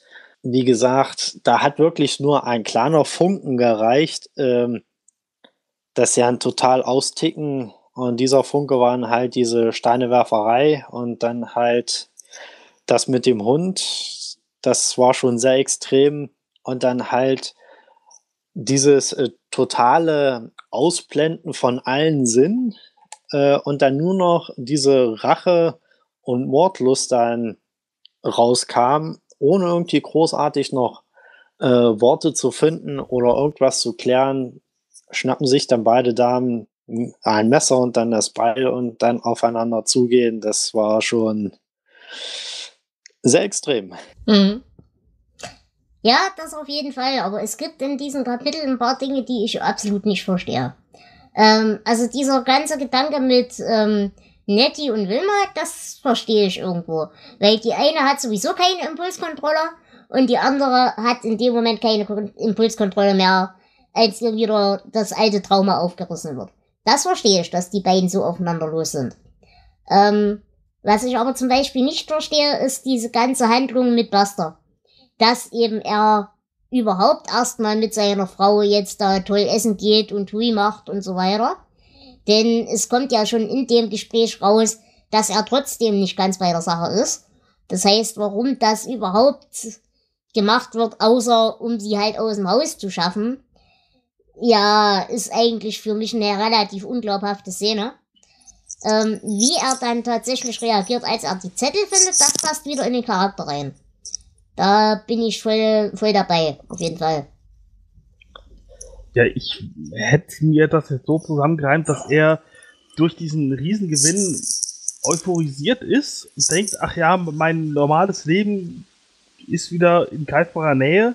Ich mache jetzt normale Sachen. Mm, ja, aber ich sag mal so, die Ehe von den beiden war ja, so wie es klingt, schon im Arsch, bevor diese ganze Pferderennbahn-Geschichte losging und so weiter. Ich hätte das eher verstanden, also für mich wäre es realistischer gewesen, wenn er jetzt irgendeine Öffentlichkeitsveranstaltung hätte besuchen müssen mit ihr, um dort auf gut Mensch zu machen und auf Wahlkampf von wegen, wir sind eine tolle Familie und gedöns. dann wäre er trotzdem außer Haus gewesen und es hätte eine Logik gehabt. So war mir das einfach zu konstruiert, ganz einfach. Ich hätte es schön gefunden, wenn das vielleicht so eingebaut wäre, wenn Leland Gaunt zum Beispiel zu Keaton gesagt hätte, ja, prima, du hast Erfolg gehabt auf der Rennbahn, feiere das doch mit deiner Frau zum Beispiel. Ah. Ah. Wäre aber, glaube ich, auch schwierig gewesen. Aber ich weiß, was du meinst, äh, auf jeden Fall.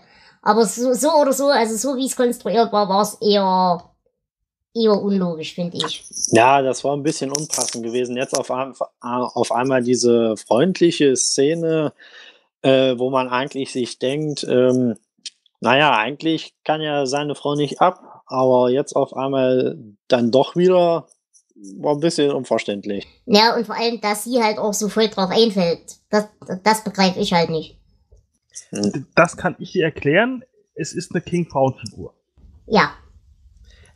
Ich, ich hätte es äh, realistischer gefunden, wenn vorher erwähnt worden wäre, ja, die gehen jeden, jede Woche einmal essen, um den guten Schein zu wahren. Ja, das meine ich eben mit so Wahlkampfmäßig, genau. Ja, einfach, einfach so ein Satz äh, hätte da schon viel gebracht vorher. Genau. Ja, denke ich auch.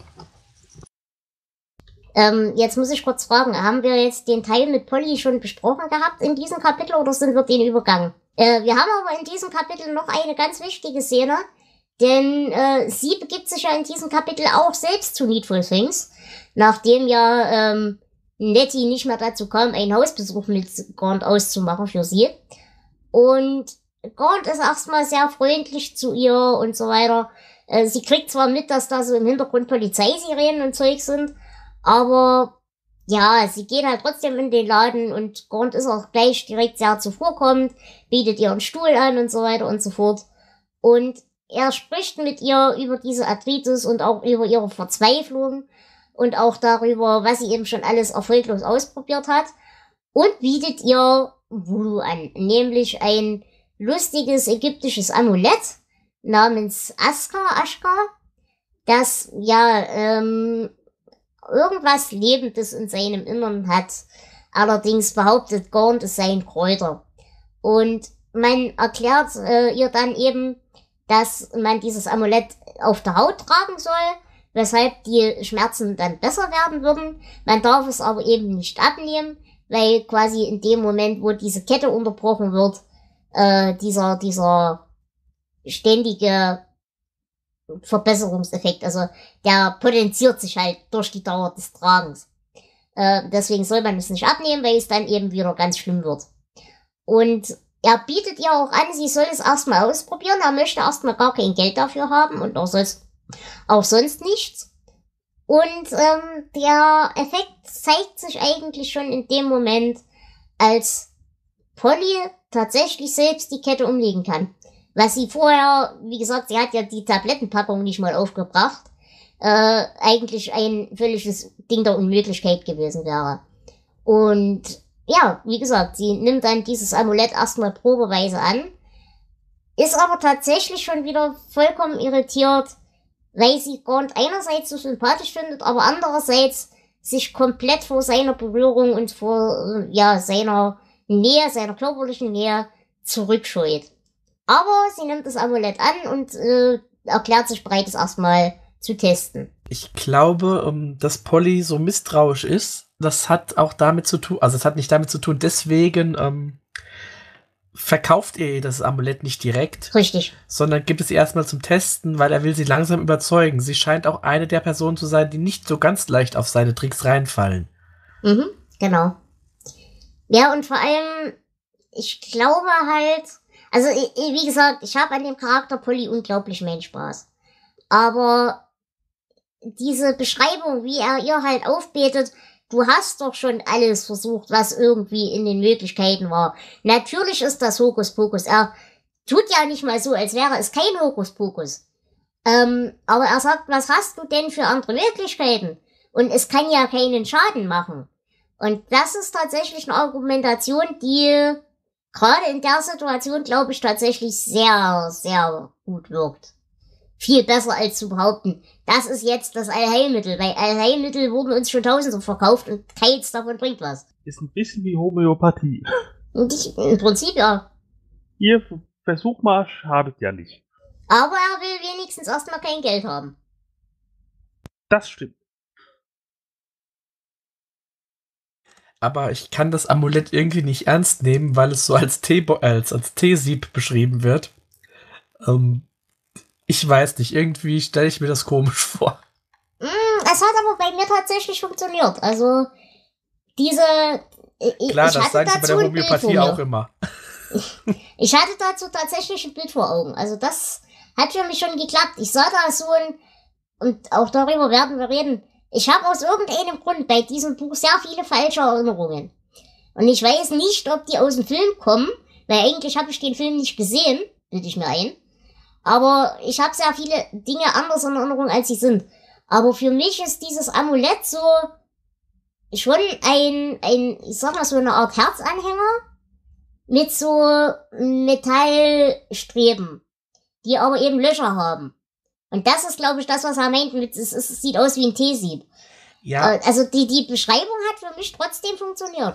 Ich, ich denke auch, dass es so tatsächlich ist. Ähm, nur ich habe halt ein Teesieb, das ist so ein Tee-Ei. Und ich dieses Ding dazwischen äh, einfach um den Hals hängen zu haben, das äh, sieht in meinem Kopf so lächerlich aus und das kriege ich einfach nicht weg. Also, Ja, das stimmt. Ja. Im Film, da sieht das Amulett wirklich so ähnlich aus wie ein äh, T-Ei. Ist halt wirklich so silbern, hat da so drei Seiten und unten hat es eine Öffnung, wo dann auch später im Film dann auch einmal versucht wird, mit einem Messer oder sowas äh, mal reinzustechen und dann kriegt Polly einen Schock daraus.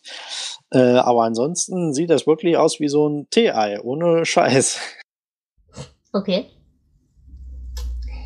Gut, wollen wir noch zum nächsten Kapitel gehen? Ja, das ist jetzt, ähm, nachdem eben Kapitel 10 sowas wie der Höhepunkt des ersten Teils war, ist Kapitel 11 jetzt noch so das Nachspiel dieser ganzen Ereignisse.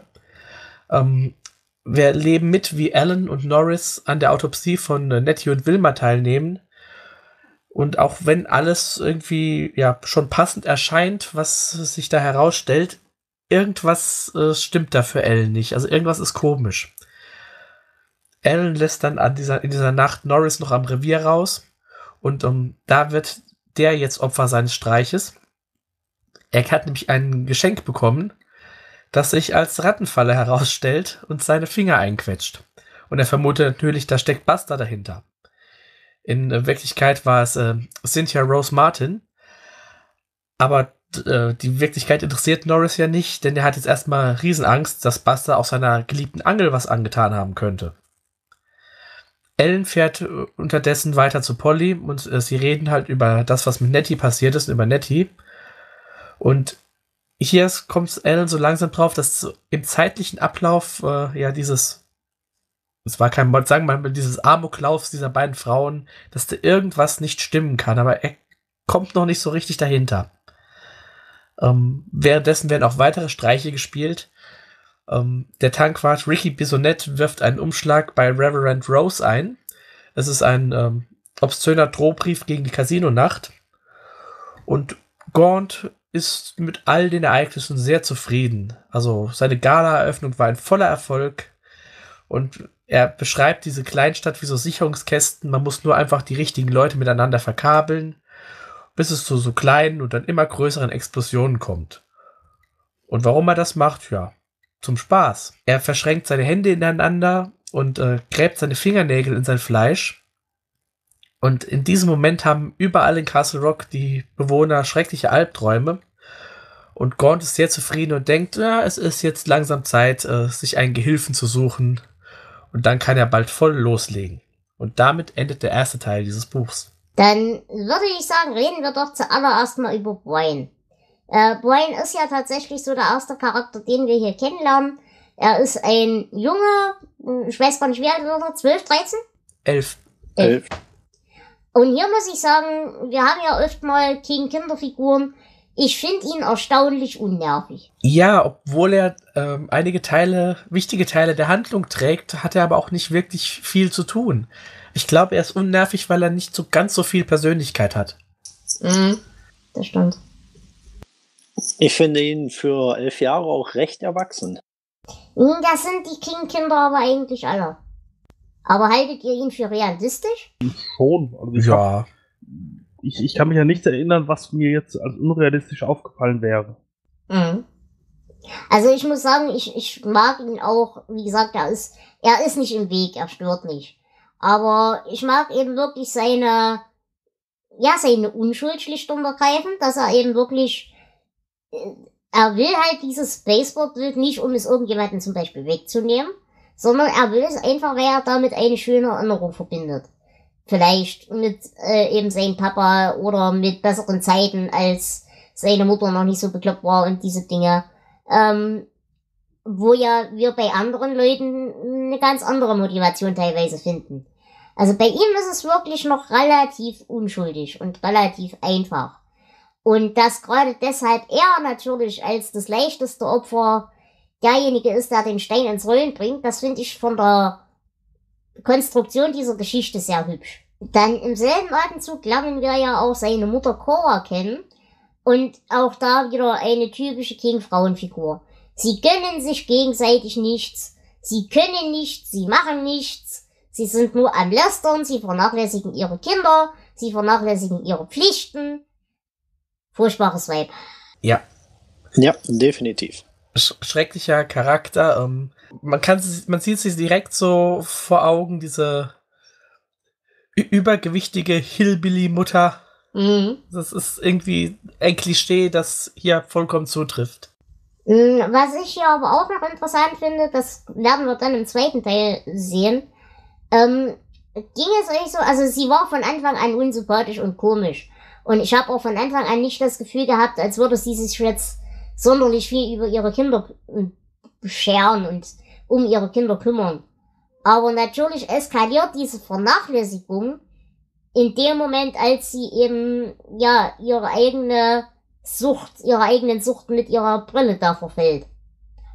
Aber äh, was ich interessant fand, ist, dass man es wirklich geschafft hat, in der Unsympathiekurve dieser Person tatsächlich noch eine, eine Steigerung reinzubringen über den Verlauf des Buches. Ja, das schafft er tatsächlich gut. Also sie ist mir eigentlich vom ersten Kapitel an, sie ist ja eine der ersten Figuren, die wir kennenlernen, ist sie mir vollkommen unsympathisch. Mhm. Und ähm, mir tut Brian sogar leid am Anfang hier, Brian und auch sein Bruder, äh, dass sie mit so einer Mutter aufwachsen müssen. Ja. Und du hast recht, es wird eigentlich immer schlimmer noch im Laufe der Geschichte. Dann gehen wir doch zur nächsten Frauenfigur, nämlich Myrtle. Das ist, wie gesagt, die Frau von Buster Keaton. Und da muss ich sagen, ich finde sie, die Klasse. ist eigentlich völlig egal. Ja, sie ist, äh, wahrscheinlich ist die Buster Keaton egal und uns als Lesern genauso. Sie ist einfach da als bei, schmückendes Beiwerk. Ja, und vor allem nur als Opfer. Das ist, die hat nur eine Opferfunktion, mehr auch nicht. Aber sie kriegt eine schöne Puppe. Ja, und das ist zum Beispiel auch so was, was ich nicht verstehe. Ich meine, klar, sie ist anfällig, sie ist gute Kundschaft für Gaunt, okay. Aber warum sie wichtig genug ist, um überhaupt in diese Rechnung reingenommen zu werden, weiß ich nicht. Das würde ich verstehen, wenn man sie gegen Buster hetzen würde. Das wäre aber schon wieder zu einfach, aber dann würde ich das verstehen. Aber ansonsten ist sie eigentlich völlig irrelevant. Ja, es wäre auch offensichtlich gewesen. Ich würde sagen, sie ist eher dafür da, um das Verhalten von Buster nochmal zu unterstreichen. Mhm. Ja, das stimmt. Ja. Ähm, mhm. M- Mehr so, so ein Mittel zum Zweck als ein tatsächlicher Charakter, würde ich Ja. auch sagen, ja. Genau. Dann habe ich mir hier aufgeschrieben, Sean. Wer ist denn das gleich nochmal? Das war der Bruder von dem, äh, Von Brian. Ja. ah, genau. o- okay, gut, ja. Naja, und beide sind halt, finde ich, also genauso wie Myrtle, ist er halt einfach nur, und das werden wir jetzt im späteren Verlauf des Buches rauskriegen, einfach nur ein traumatisiertes Opfer der Umstände. Also er hat ja nur eigentlich selbst überhaupt nichts Böses getan. Und er geht einfach in diesem Scheißesturm in dieser Stadt unter, genauso wie Myrtle. ist auch für den späteren Verlauf aber auch eine Schlüsselfigur, vor allem für Alan Pangborn. Genau.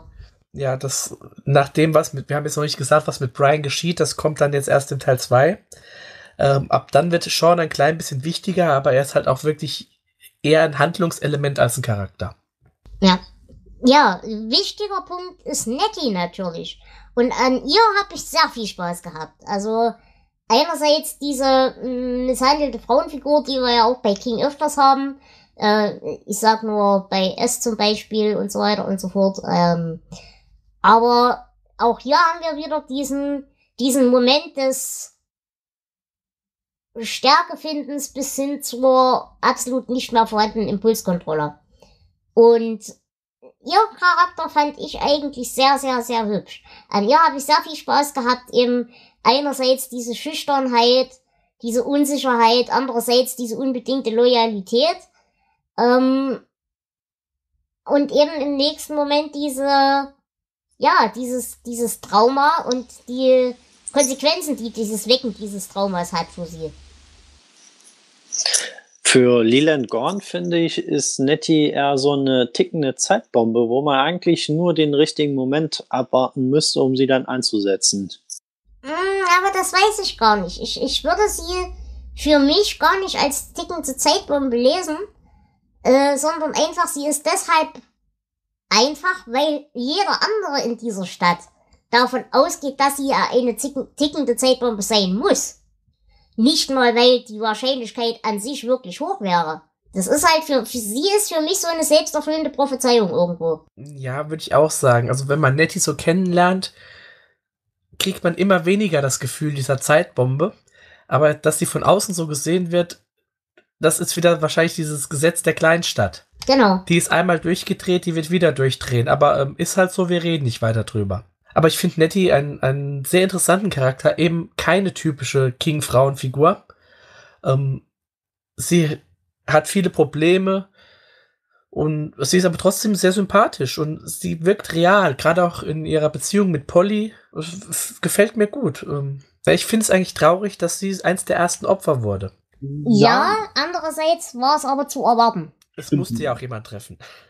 Ich hatte eigentlich erwartet, dass es nicht so schnell zu Opfern kommt, sondern dass erst noch ein bisschen, äh, bisschen mehr äh, losgeht und dann alles auf einmal kommt.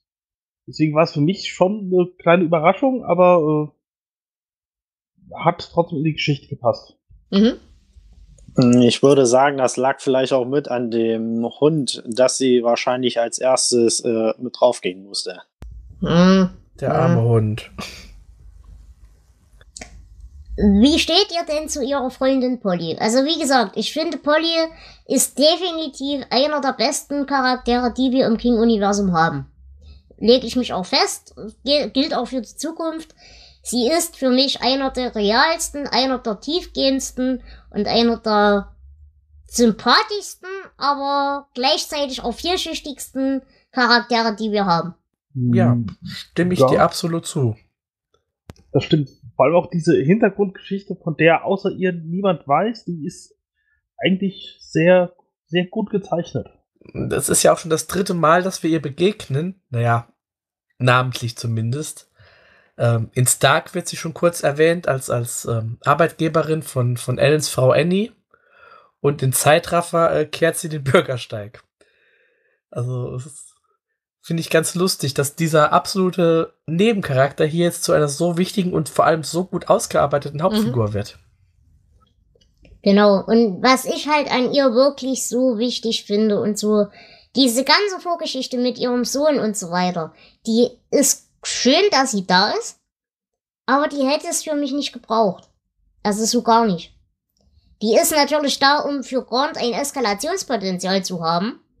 Aber ansonsten ist für mich ihre ganze Geschichte mit Schmerz, mit Umgang mit Schmerz, mit ähm, eigenem Anspruch, was sowohl ihre Arbeit als auch ihr Privatleben angeht, als auch die Tatsache eben, sich das Leben nicht versauen zu lassen durch diese Scheiße.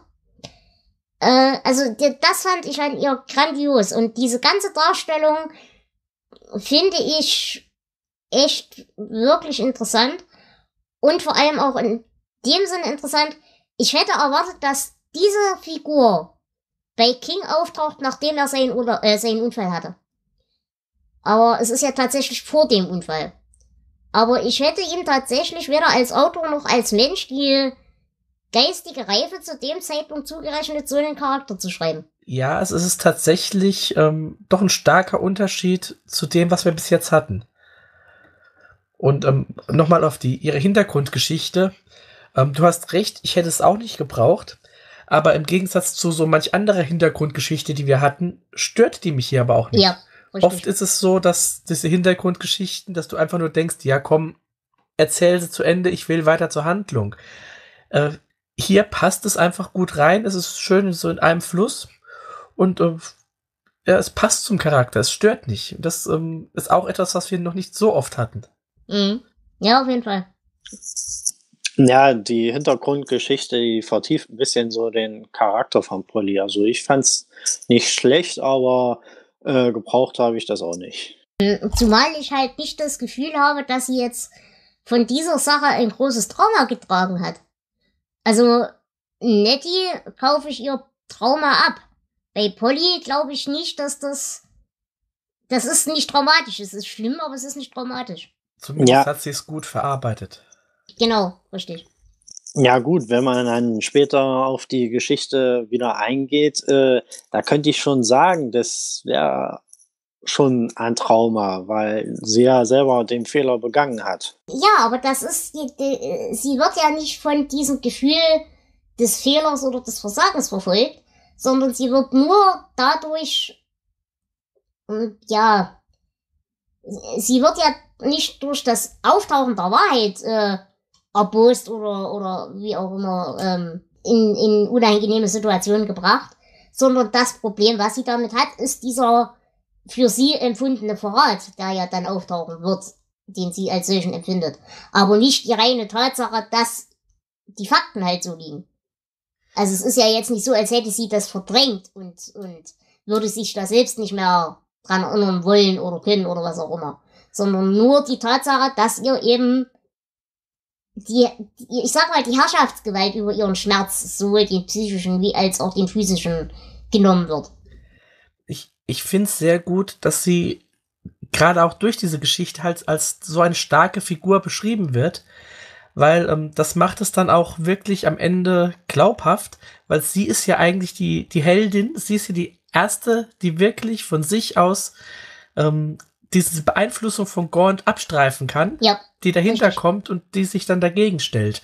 Und das wäre bei einem anderen, beim schwächeren Charakter, äh, hätte ich das wahrscheinlich nicht so geglaubt wie bei ihr. ja, das auf jeden Fall. Dann würde ich sagen, reden wir doch über ihren Partner, nämlich über Ellen. Und Ellen haben wir ja in einem vorhergehenden Buch schon kennengelernt. Da fanden wir ihn ja alle schon halbwegs sympathisch. Ich glaube, Jonas, dir ging's auch so, ne? Jawohl. Und ja, wie, wie findet ihr ihn denn jetzt in seiner Weiterentwicklung in diesem Buch? Sympathisch. Genau, weiterhin sympathisch, kompetent. Äh, ja klar, er ist von Trauer zerfressen. Das merkt man ihm deutlich an. Äh, es lenkt ihn auch vielleicht ein Stück weit ab, aber ich sehe ihn als äh, immer noch patenten Polizisten. Und ja, er, er macht sein Ding gut. Was ich bei ihm nicht so richtig verstanden habe. Äh, ich weiß nicht, ob das so richtig erwähnt wird. Er ist nicht ein, in Anführungsstrichen, Eingeborener von Castle Rock. Ist das richtig? Nein, Richtig. der ist hinzugezogen. Die Familie ist irgendwann, ich glaube, aus New York zugezogen, ähm, ja, um dort ein besseres Leben führen zu können oder so Okay. irgendwie in der Art. Was ich äh, gut finde, ist, dass man tatsächlich eine Charakterentwicklung auch zwischen Stark und zwischen diesem Buch ähm, erkennen kann. Mhm. Ähm, man merkt, dass, dass ihm die Ereignisse am Ende von Stark doch noch nicht ganz losgelassen haben, dass dieses übersinnliche Erlebnis und die Sperlinge und der ganze Scheiß, ähm, dass die auch an ihm nagen. Und wahrscheinlich ist nur der Tod seiner Frau, ähm, der verhindert hat, dass er sich da mehr mit beschäftigt hat, glaube ich. Wobei ich das nicht mal sagen würde, dass er sich damit nicht mehr beschäftigt hat. Ähm, ich glaube tatsächlich, was ihm sowohl ähm, ja so ein bisschen das Genick gebrochen hat, ist, er, er hätte, glaube ich, das ganze Ding für sich abschließen können zu einem gewissen Zeitpunkt. Aber dadurch Stark ihn ja, wie er beschrieben wird, am Telefon immer wieder angerufen hat und ihn dann eben so voll gelabert hat und er eben quasi die Trennung zwischen Stark und dessen Frau mitgekriegt hat und so weiter. Dadurch ist halt sein eigenes Leben so ein bisschen in den Hintergrund geraten. Und das finde ich an ihm so interessant, dass er sehr schwer sich damit tut, die Balance zwischen seinem eigenen Leben und dem Leben anderer Leute herzustellen. Was ich an Ellen auch noch mag, ist, ähm, er ist nicht der, der klassische Strahlemann, sondern er hat auch so ein bisschen, ähm, ja, so ein bisschen gemein im Hintergrund. Also diese Sache Mhm. mit dem, dem Parkticket zum Beispiel. So, ja, der wird durchdrehen, aber lass es mal. Ähm, da können wir was rausschlagen. Ähm, provozieren ruhig ein bisschen, sag ich es mal so überspitzt. Ja, richtig. Ähm, das kann nur gut für uns sein, dass das Ganze nach hinten losgeht, ist dann eine andere Geschichte. Aber er, er ist ähm, eine relativ vielseitige Figur. Er ist kein Stu Redman. Drücken wir es so aus. Genau. Und was ich auch noch ganz hübsch finde, äh, er selbst fühlt sich ja mit seiner Stadt sehr, sehr verbunden. Das kommt dann vor allem eben in der großen Eskalation gegen Ende hin sehr raus und wird dann eben auch kontrastiert. Wir haben ja jetzt schon erfahren, während dieser Autopsie der beiden Damen, dass äh, hier die Bundespolizei, glaube ich, oder zumindest eine übergeordnete Stelle da schon eingreift. Und er fühlt sich sehr, sehr mit seiner Stadt verbunden. Aber trotzdem wird er von den Einheimischen, also von den richtigen Einheimischen, immer noch so tendenziell als Fremdkörper wahrgenommen. Und diesen Kontrast fand ich bei ihm auch sehr hübsch. Ja, aber ich glaube auch gerade dieses Fremdkörper, vielleicht ist es auch das, was äh, Polly ähm, ausmacht, dass ähm, beide eben nicht ihr ganzes Leben in dieser Stadt verbracht haben, dass das letztendlich auch ähm, dazu hilft, dass Gaunt nicht so die Kontrolle über sie kriegen kann. Das hätte er dann aber bei Nettie auch nicht können dürfen. Ja, aber ähm, die beiden haben außerhalb gelebt. Nettie war verwahrt. Ja, aber Nettie ist, glaube ich, also die, sie kommt ja auch nicht aus Castle Rock, sondern ihr Mann und so weiter war ja in einer anderen Stadt. Dann ist sie in das andere, in diese ähm, Anstalt gekommen, die auch wieder in einer anderen Stadt war. Und dann hat ne, äh, Polly sie in Castle Rock reingeholt. So habe ich es zumindest verstanden. Kann sein, habe ich nicht mehr ganz im Kopf. Also für mich ist Nettie auch nicht als Castle Rock Eingeborene. Ich dachte, sie käme von da, aber Wie gesagt, ich kann mich täuschen, aber weil halt auch äh, alle Leute über sie Bescheid wissen. Ja. Deswegen habe ich das angenommen. naja gut, aber alle Leute wissen halt in so einer kleinen Stadt immer Bescheid, wenn so ein potenzieller Skandal in der Luft liegt. Und wenn da eine, in Anführungsstrichen, Irre in die Stadt geholt wird, natürlich äh, wird dann entsprechend recherchiert und äh, Gerüchte verbreitet und so weiter. Weshalb das natürlich Stadtgespräch ist. Also das würde ich jetzt nicht unbedingt als Grund sehen, sie dort als, als einheimisch zu verorten. Wie findet ihr denn äh, die Beziehung zwischen Ellen und Polly? Weil das war ja eins unserer häufigsten Kritikpunkte, dass Beziehungen sich nicht echt angefühlt haben, ganz oft. Und in diesem Fall, ähm, ich glaube den beiden schon, dass da was läuft. Also, ich finde es sehr schön, dass sie sehr viel miteinander reden. Das haben mir die anderen oft nicht gemacht. Das ist keine realistische Beziehung, aber ja. Ja, nein, aber ähm, trotzdem, also es, ich glaube den beiden schon, dass sie zusammen sind. Das, Ja. Da gebe ich dir recht. Und vor allem glaube ich auch die Tatsache, wie sie zusammengekommen sind. Die gemeinsame Trauer um die verlorene Ehefrau und um die verlorene Freundin. Und ähm, auch dass es eben am Anfang so mit, mit Vorsicht verbunden war und mit langsamem Annähern. Das fand ich sehr hübsch. Ähm, was mich da eigentlich so ein bisschen gestört hatte, das waren die Lügen, die dann halt äh, Polly dann so an Ellen so ausgerichtet hatte, vor allem jetzt wegen den Schmerzen und so. Ähm, sie hätte auch ruhig da Nein. offen drüber sprechen Nein, können, oder nicht? Kann man nicht. Kann man einfach nicht. Ich, äh, wie gesagt, wer diesen Podcast länger hört, ich bin ja selber chronisch krank. Ich habe selbst ein Schmerzproblem wegen Rücken und Zeug. Kann man nicht. E egal wie sehr man seinen Partner liebt oder wie auch immer. Aber du bist selbst immer. Das erste Problem an der Tatsache ist, ähm, sobald du für dich selbst deine chronischen Schmerzen anerkennst und sobald du die jemand anderen mitteilst in irgendeiner Form, hast du das Problem, dass sie für dich selbst real werden. Bis zu dem Moment, wo du andere darüber anlügen kannst und mehr oder weniger erfolgreich anlügen kannst, hast du auch noch eine Chance, dich selber zu belügen. So, dann kannst du dir auch selber einreden, dass es doch so schlimm nicht sein kann. Und das ist, glaube ich, bei einer chronischen Erkrankung eine Tendenz, die man einfach entwickelt. Und das nächste Problem ist, du kommst immer in den Zugzwang, dass du dich einerseits vor dir selber rechtfertigst, warum du manche Dinge eben aktuell gerade nicht kannst und das kotzt dich an. Und das ist mit einer, ja, mit einem großen Teil von Charme verbunden. Und gleichzeitig kommt da eben rein, gerade weil du diesen Menschen liebst, willst du ihn mit diesem Scheißdreck nicht belästigen, weil du weißt, er kann daran eh nichts ändern. Wenn jetzt die Wahrscheinlichkeit da wäre, dass man daran was ändern könnte, dann wäre das was anderes. Aber einen Menschen, den du liebst, mit einem Problem zu belästigen, das, äh, von dem er weiß, dass es dich belastet, aber andererseits von dem jeder weiß auf einem realistischen Maßstab, dass man nicht wirklich viel daran ändern kann, äh, ist eine Sache, die gewöhnst du dir relativ schnell ab. Also gerade das, dass sie ihn darüber belügt, hat für mich sehr viel dafür beigetragen, dass es eine realistische Beziehung war. Oder um es anders auszudrücken, ja, ich kenne das Gefühl und ja, ich mache das auch. Machen wir weiter mit äh, unseren vielen Leuten. Und weil ich würde sagen, machen wir weiter mit Norris, wenn ihr nichts dagegen habt. Denn Gerne. er als Kollege von Ellen ist ja quasi innerhalb dieser Polizeikohorte ein ganz interessanter Charakter. Und ich muss sagen, mit ihm habe ich so ein bisschen nicht unbedingt meine Schwierigkeiten gehabt, aber ich, ich weiß nicht. Ich, ich, ich fand den Charakter interessant und nett, aber er blieb mir doch im Großen und Ganzen etwas zu blass. Ich weiß nicht, ob ihr die Andy Griffith Show kennt, vermutlich Ja. nicht. Also es ist eine 50er Jahre Comedy-Serie über einen Kleinstadt-Sheriff. Und der hat einen Deputy. Ähm, so ein bisschen vertrottelt, der auch gerne mal angeln geht. Also irgendwie hat er mich sehr stark an den erinnert.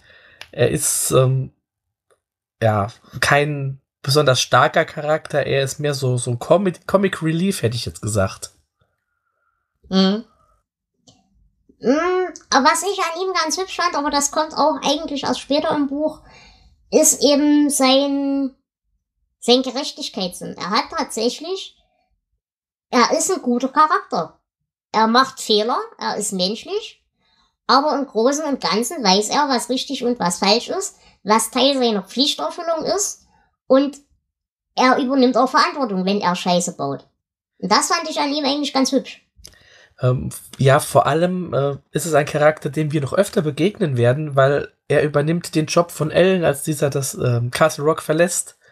Und dann finde ich ihn auch, wird er immer besser aufgebaut. Aber hier in diesem Buch, ähm, ja, ich, ich mag ihn. Also er ist, er ist so ein bisschen, er kommt mir so vor wie so dieser vertrottelte Nebencharakter, mit dem man ein bisschen Spaß haben kann. Aber ansonsten hat er jetzt nicht so die große, ja, den großen Einfluss auf die Geschichte, sage ich mal. Mhm. Ja, man hat so den Eindruck, er lebt so vor sich hin, ist mit seinem Job ganz zufrieden, macht ihn aber nicht, weil das sein Leben ist, sondern halt, weil er damit Geld verdient, um angeln zu gehen zu können, um halt sich ein angenehmes Leben zu machen. Mhm. Genau. Für mich macht er einen recht sympathischen Eindruck, wie einen recht freundlichen Kollegen, den man so jeden Tag auf Arbeit an- antrifft. Mhm. Ja, er ist halt, er ist ein glaubwürdiger, aber relativ durchschnittlicher Mensch. Sagen wir so. Ja, aber wenn ich das so raushöre, also er war keinem von uns jetzt unsympathisch. Genau. Und was ich an ihm sehr schätze, er ist nicht sonderlich weinerlich. Vor allem nach der Mausefalle zum Beispiel. Der Rattenfalle. Ja, aber auch da ist er ja in erster Linie am Fluchen. Also, er ist weniger weinerlich, von wegen, die sind alle gemein und mobben mich alle, sondern mehr, gut, sind halt Arschlöcher. Wurde eigentlich im Buch aufgeklärt, warum er sich immer im Polizeirevier umgezogen hat? Hm, Ich glaube, das wird einfach gesagt, weil ihm das zu viel Arbeit ist, da Bequemlichkeit. Ich denke auch, das einfach nur um dem Charakter irgendeinem Zug zu verleihen noch.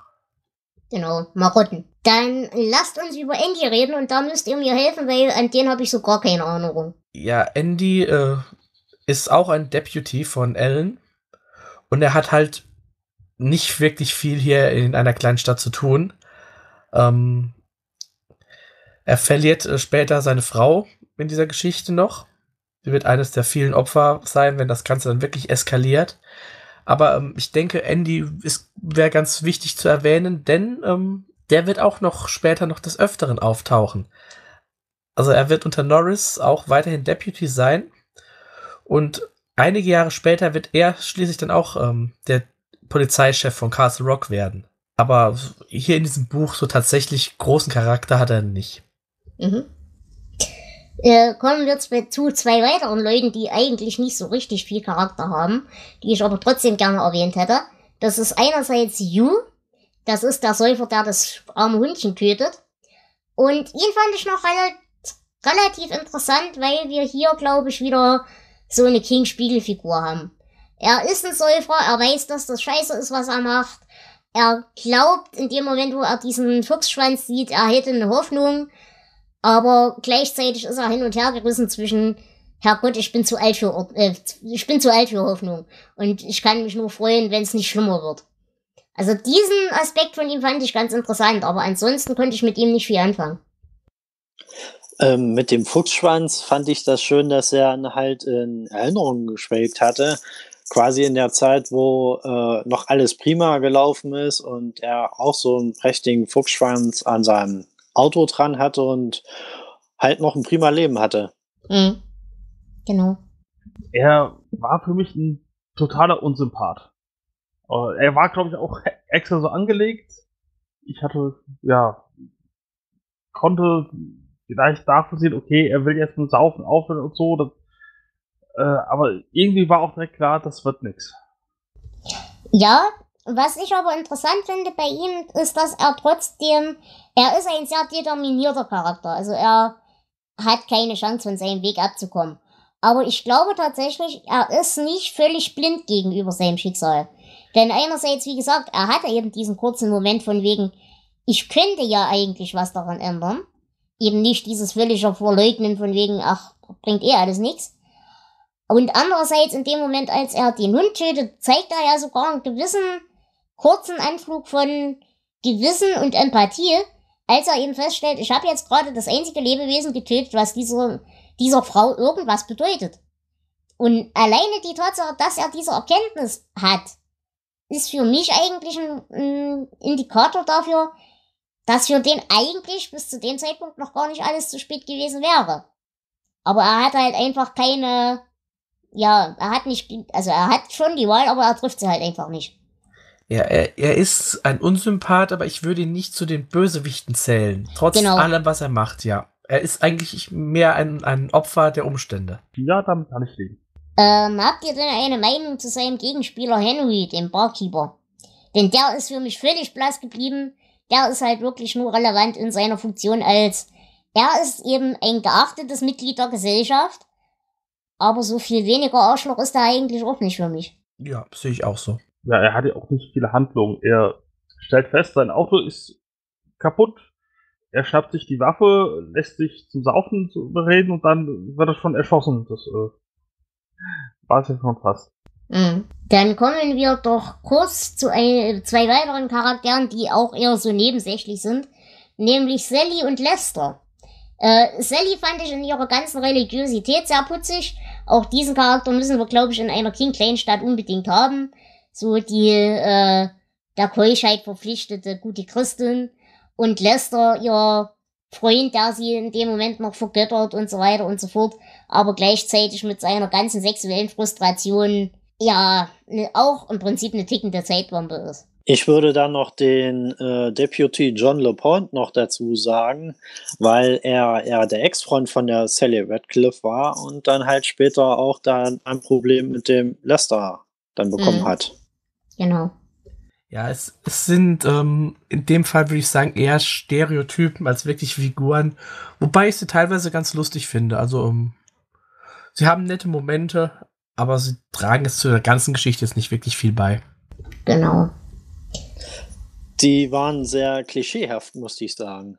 So, und dann habe ich äh, eine Frage, da weiß ich aber nicht, ob ich da einfach wieder nur unleidlich bin. Zum Thema Tragen nicht viel zur Geschichte bei. Kommen wir mal zu den beiden Fahrern Rose und Whiteham. Geht es nur mir so, mich hat dieser, dieser ganze Handlungsstrang mit diesem Blödsinn mit der Casino-Nacht und den ganzen Dreck, der da drumrum agiert. Okay, es ist Amerika, es ist eine Kleinstadt, irgendwelche religiösen Animositäten muss es wahrscheinlich geben. Aber das ging mir so auf den Sack und das war auch in keiner Form für mich greifbar oder realistisch oder in irgendeiner Form relevant. Also mir ging die ganze Handlung mit der Casino-Nacht tierisch auf den Zwieback und von mir aus hätte die ruhig wegbleiben können. Gut, wie gesagt, ging mir genauso. Ja, sehe ich auch so. Also ich glaube, es dient nur dazu, dass man merkt, oh ja, hinter dieser ganzen fröhlichen Fassade der Stadt, da äh, ist schon so der ein oder andere Sache, die brodelt. Aber ähm, hätte ich nicht gebraucht. Naja, ich glaube halt tatsächlich, diese ganze Sache, dieser ganze Handlungsstrang, er wollte gerne eine Massenszene schreiben und das ist der einzige Anlass dafür, wie du diese Massenszene hinbauen kannst. Aber ich weiß halt nicht, und da bin ich mir wirklich nicht sicher, für so eine Massenszene hätte auch irgendwie ein Streit im Stadtrat äh, ja, genau, zum Beispiel. hingehauen. Also ja. Aber ich bin mir halt nicht sicher, ob wir nur als Mitteleuropäer diese, diese religiösen Animositäten nicht verstehen. Dass das tatsächlich so ein kulturelles Ding ist, das irgendwo in Amerika eine viel größere Relevanz hat. Dass man diese Szene vielleicht als Ami ganz anders wahrnimmt, als wir das tun. Das will ich nicht ausschließen. Ja, also ich finde es als Stilmittel eigentlich ganz nett, dass halt solche kleinen Unterschiede in den unendlich vielen äh, Religionsgemeinschaften in den USA äh, so große Auswirkungen haben können. Ich glaube, das ist auch tatsächlich äh, so, dass diese Kleinkriege allgegenwärtig sind. Klar, nicht so extrem, wie es dann hier ausartet, aber ich glaube, die sind da. Mhm.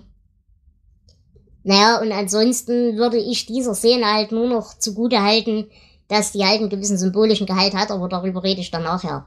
Aber generell muss ich ganz ehrlich sagen, hätte ich auf diesen ganzen Handlungsstrang komplett verzichten können. Gut, äh, damit haben wir zumindest die halbwegs weiß bis grauen Charaktere durch. Und da wir ja jetzt die Gelegenheit hatten, die Bürger des beschaulichen Castle Rock kennenzulernen, wird es vielleicht auch Zeit, bevor wir mit der Handlung fortfahren, einen genaueren Blick auf unsere Gegenspieler zu werfen. Denn man muss ja seine Feinde kennen, um sie besiegen zu können. Und da würde ich sagen, fangen wir erstmal mit den kleinen Lichtern an. Der eine Charakter, der, ja, zwar normal, aber bösartig ist und tatsächlich komplett bösartig, ist Wilma. Wie steht ihr denn zu Wilma?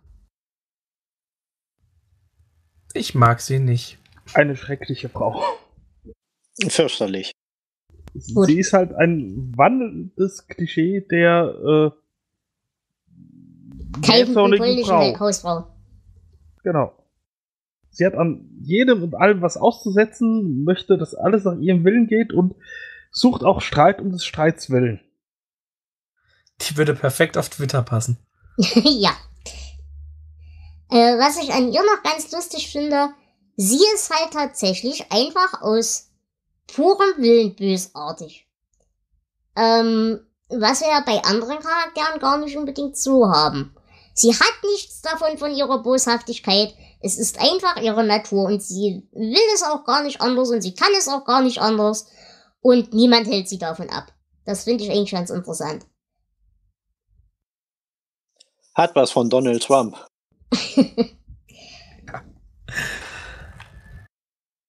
Was ich hier noch interessant finde, warum glaubt ihr, haben wir sie ausgerechnet mit Nettie so gepaart?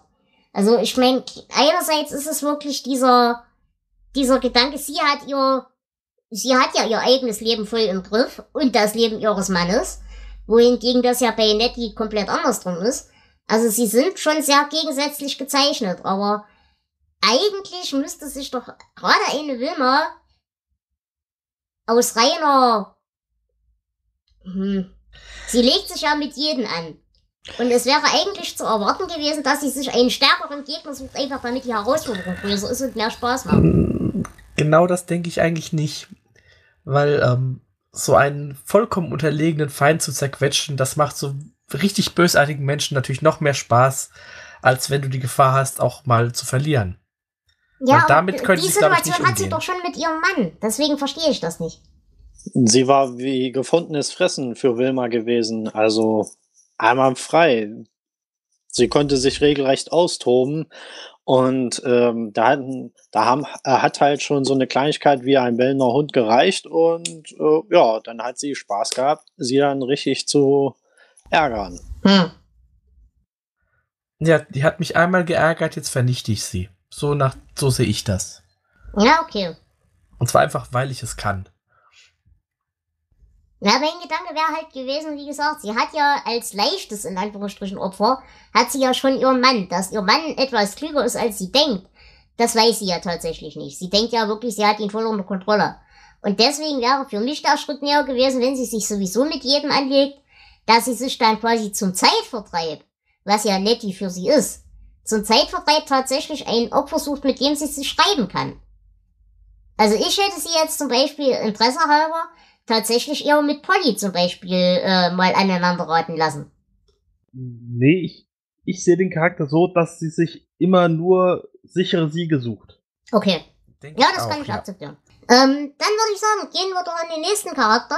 Reden wir über Buster.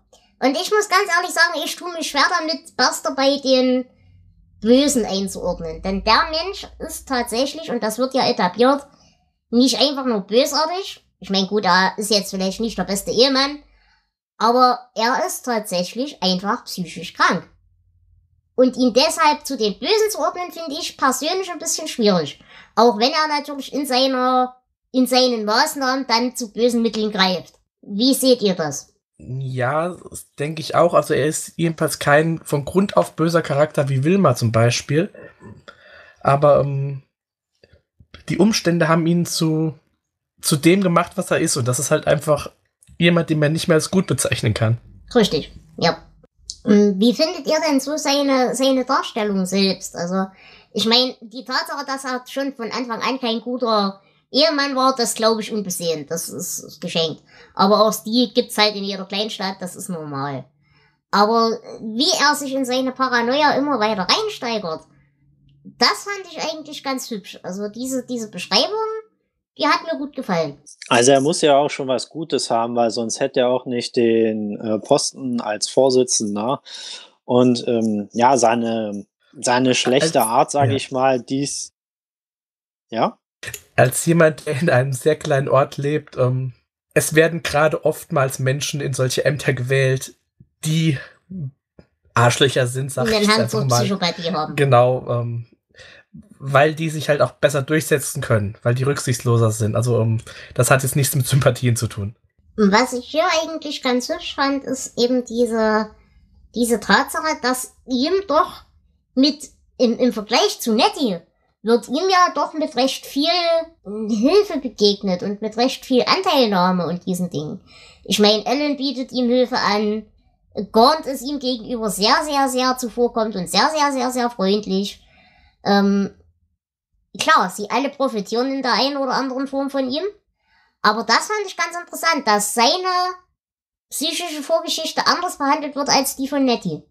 Nettie ist einfach nur verrückt. Ja, wahrscheinlich, weil Nettie auch schon mal eskaliert ist. Und der Buster scheint sich noch so weit zurückgehalten zu haben, dass zumindest äh, noch niemand größer verletzt wurde oder sowas. Ja, Ja, Ellen, der weiß ja vor allem ja auch nicht, was da überhaupt los ist bei Buster. Vor allem jetzt hier mit der Veruntreuung von dem Geld.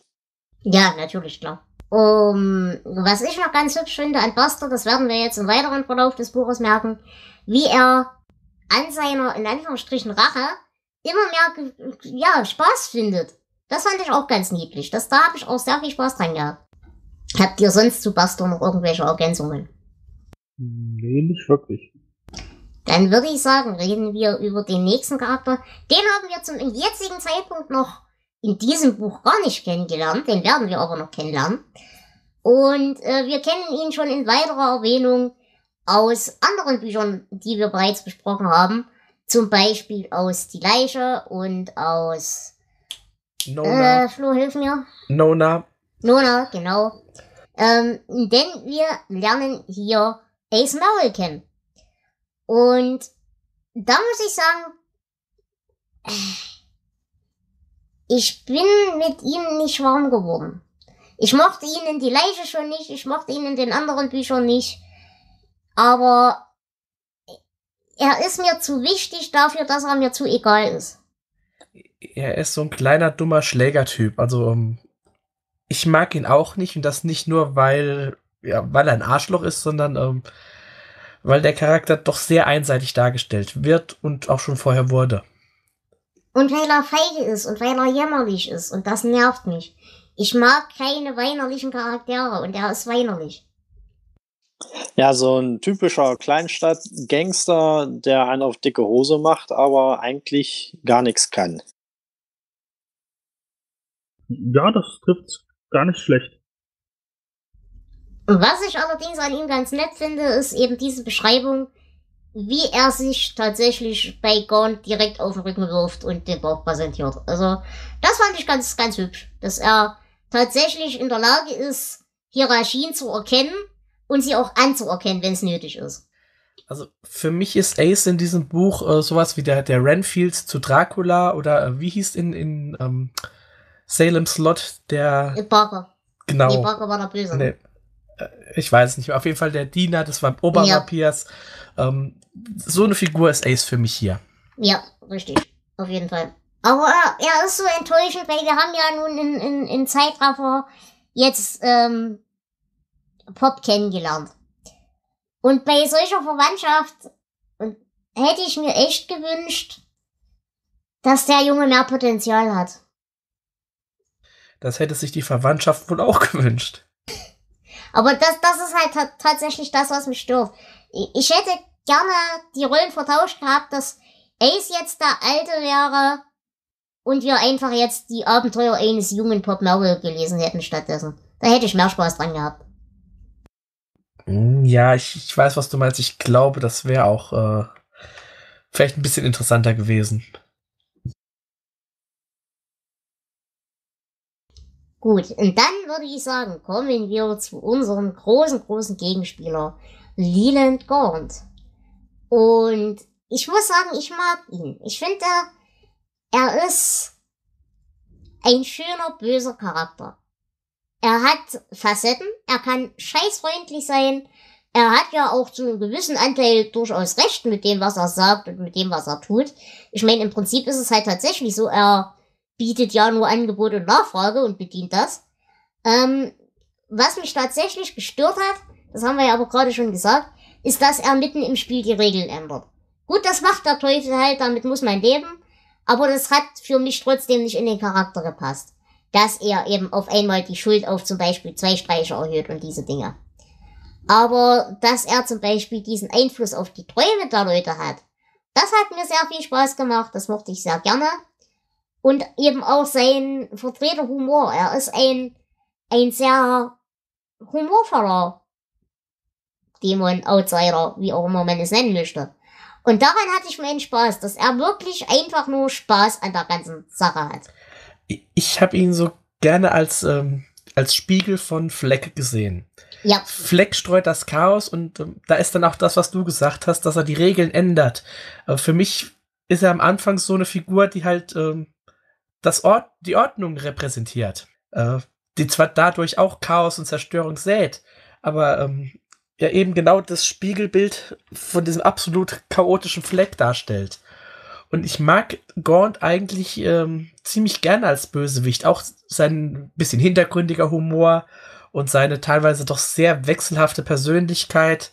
Ähm, Finde ich alles interessant und man erfährt ja auch so ein bisschen was über sein, seinen Hintergrund. Also er scheint das ja schon ein paar Jahrhunderte zu machen. Das gefällt mir an ihm. Ähm, ich würde dir tatsächlich sogar widersprechen. Er hat sehr viel von Fleck, da bin ich voll bei dir. Ähm, Gerade dieses Element des lachenden Gag äh, passt da ja voll rein. Allerdings kann ich mich nicht erinnern, dass Fleck jemals mitten im Spiel die Regeln geändert hätte. Fleck ist ja determiniert. Ja, ja, das, das ist ja das, was ich gesagt habe. Dieser Punkt stört mich. Entweder hätte King da früher, es hätten ein, zwei Sätze gereicht, besser drauf eingehen können. Ähm, hier, das ist ein Teil der Bezahlung. Ja, richtig. Aber noch nicht komplett. Es ist erst bezahlt, wenn ich das sage. Aber so stört mich das auch. Also da gebe ich dir vollkommen recht. Und vor allem auch seine Begründung. Ja, ich habe ja nicht gesagt, dass es nicht doch ein weiterer Teil ist. Kann man auch sagen, ja, ich habe auch nicht gesagt, dass ich nicht noch äh, fünf weitere Karten genau. bekomme. Das ist halt die, die Logik in sich, die stimmt da nicht. Wobei ich sagen muss, und da, auch das hätte ich akzeptabel gefunden, aber da hast du halt einen, wie gesagt, elfjährigen Charakter. Aber interessant wäre gewesen, wenn tatsächlich diese, diese Herausforderung gekommen wäre. Von wegen, okay, wir haben den Handel nicht komplett abgeschlossen, also ist er ungültig. Mhm. Und ich könnte zum Beispiel was nachfordern, dass da auf diese Idee natürlich der normale Mensch nicht kommt, in Anbetracht einer solchen dämonischen Entität, okay.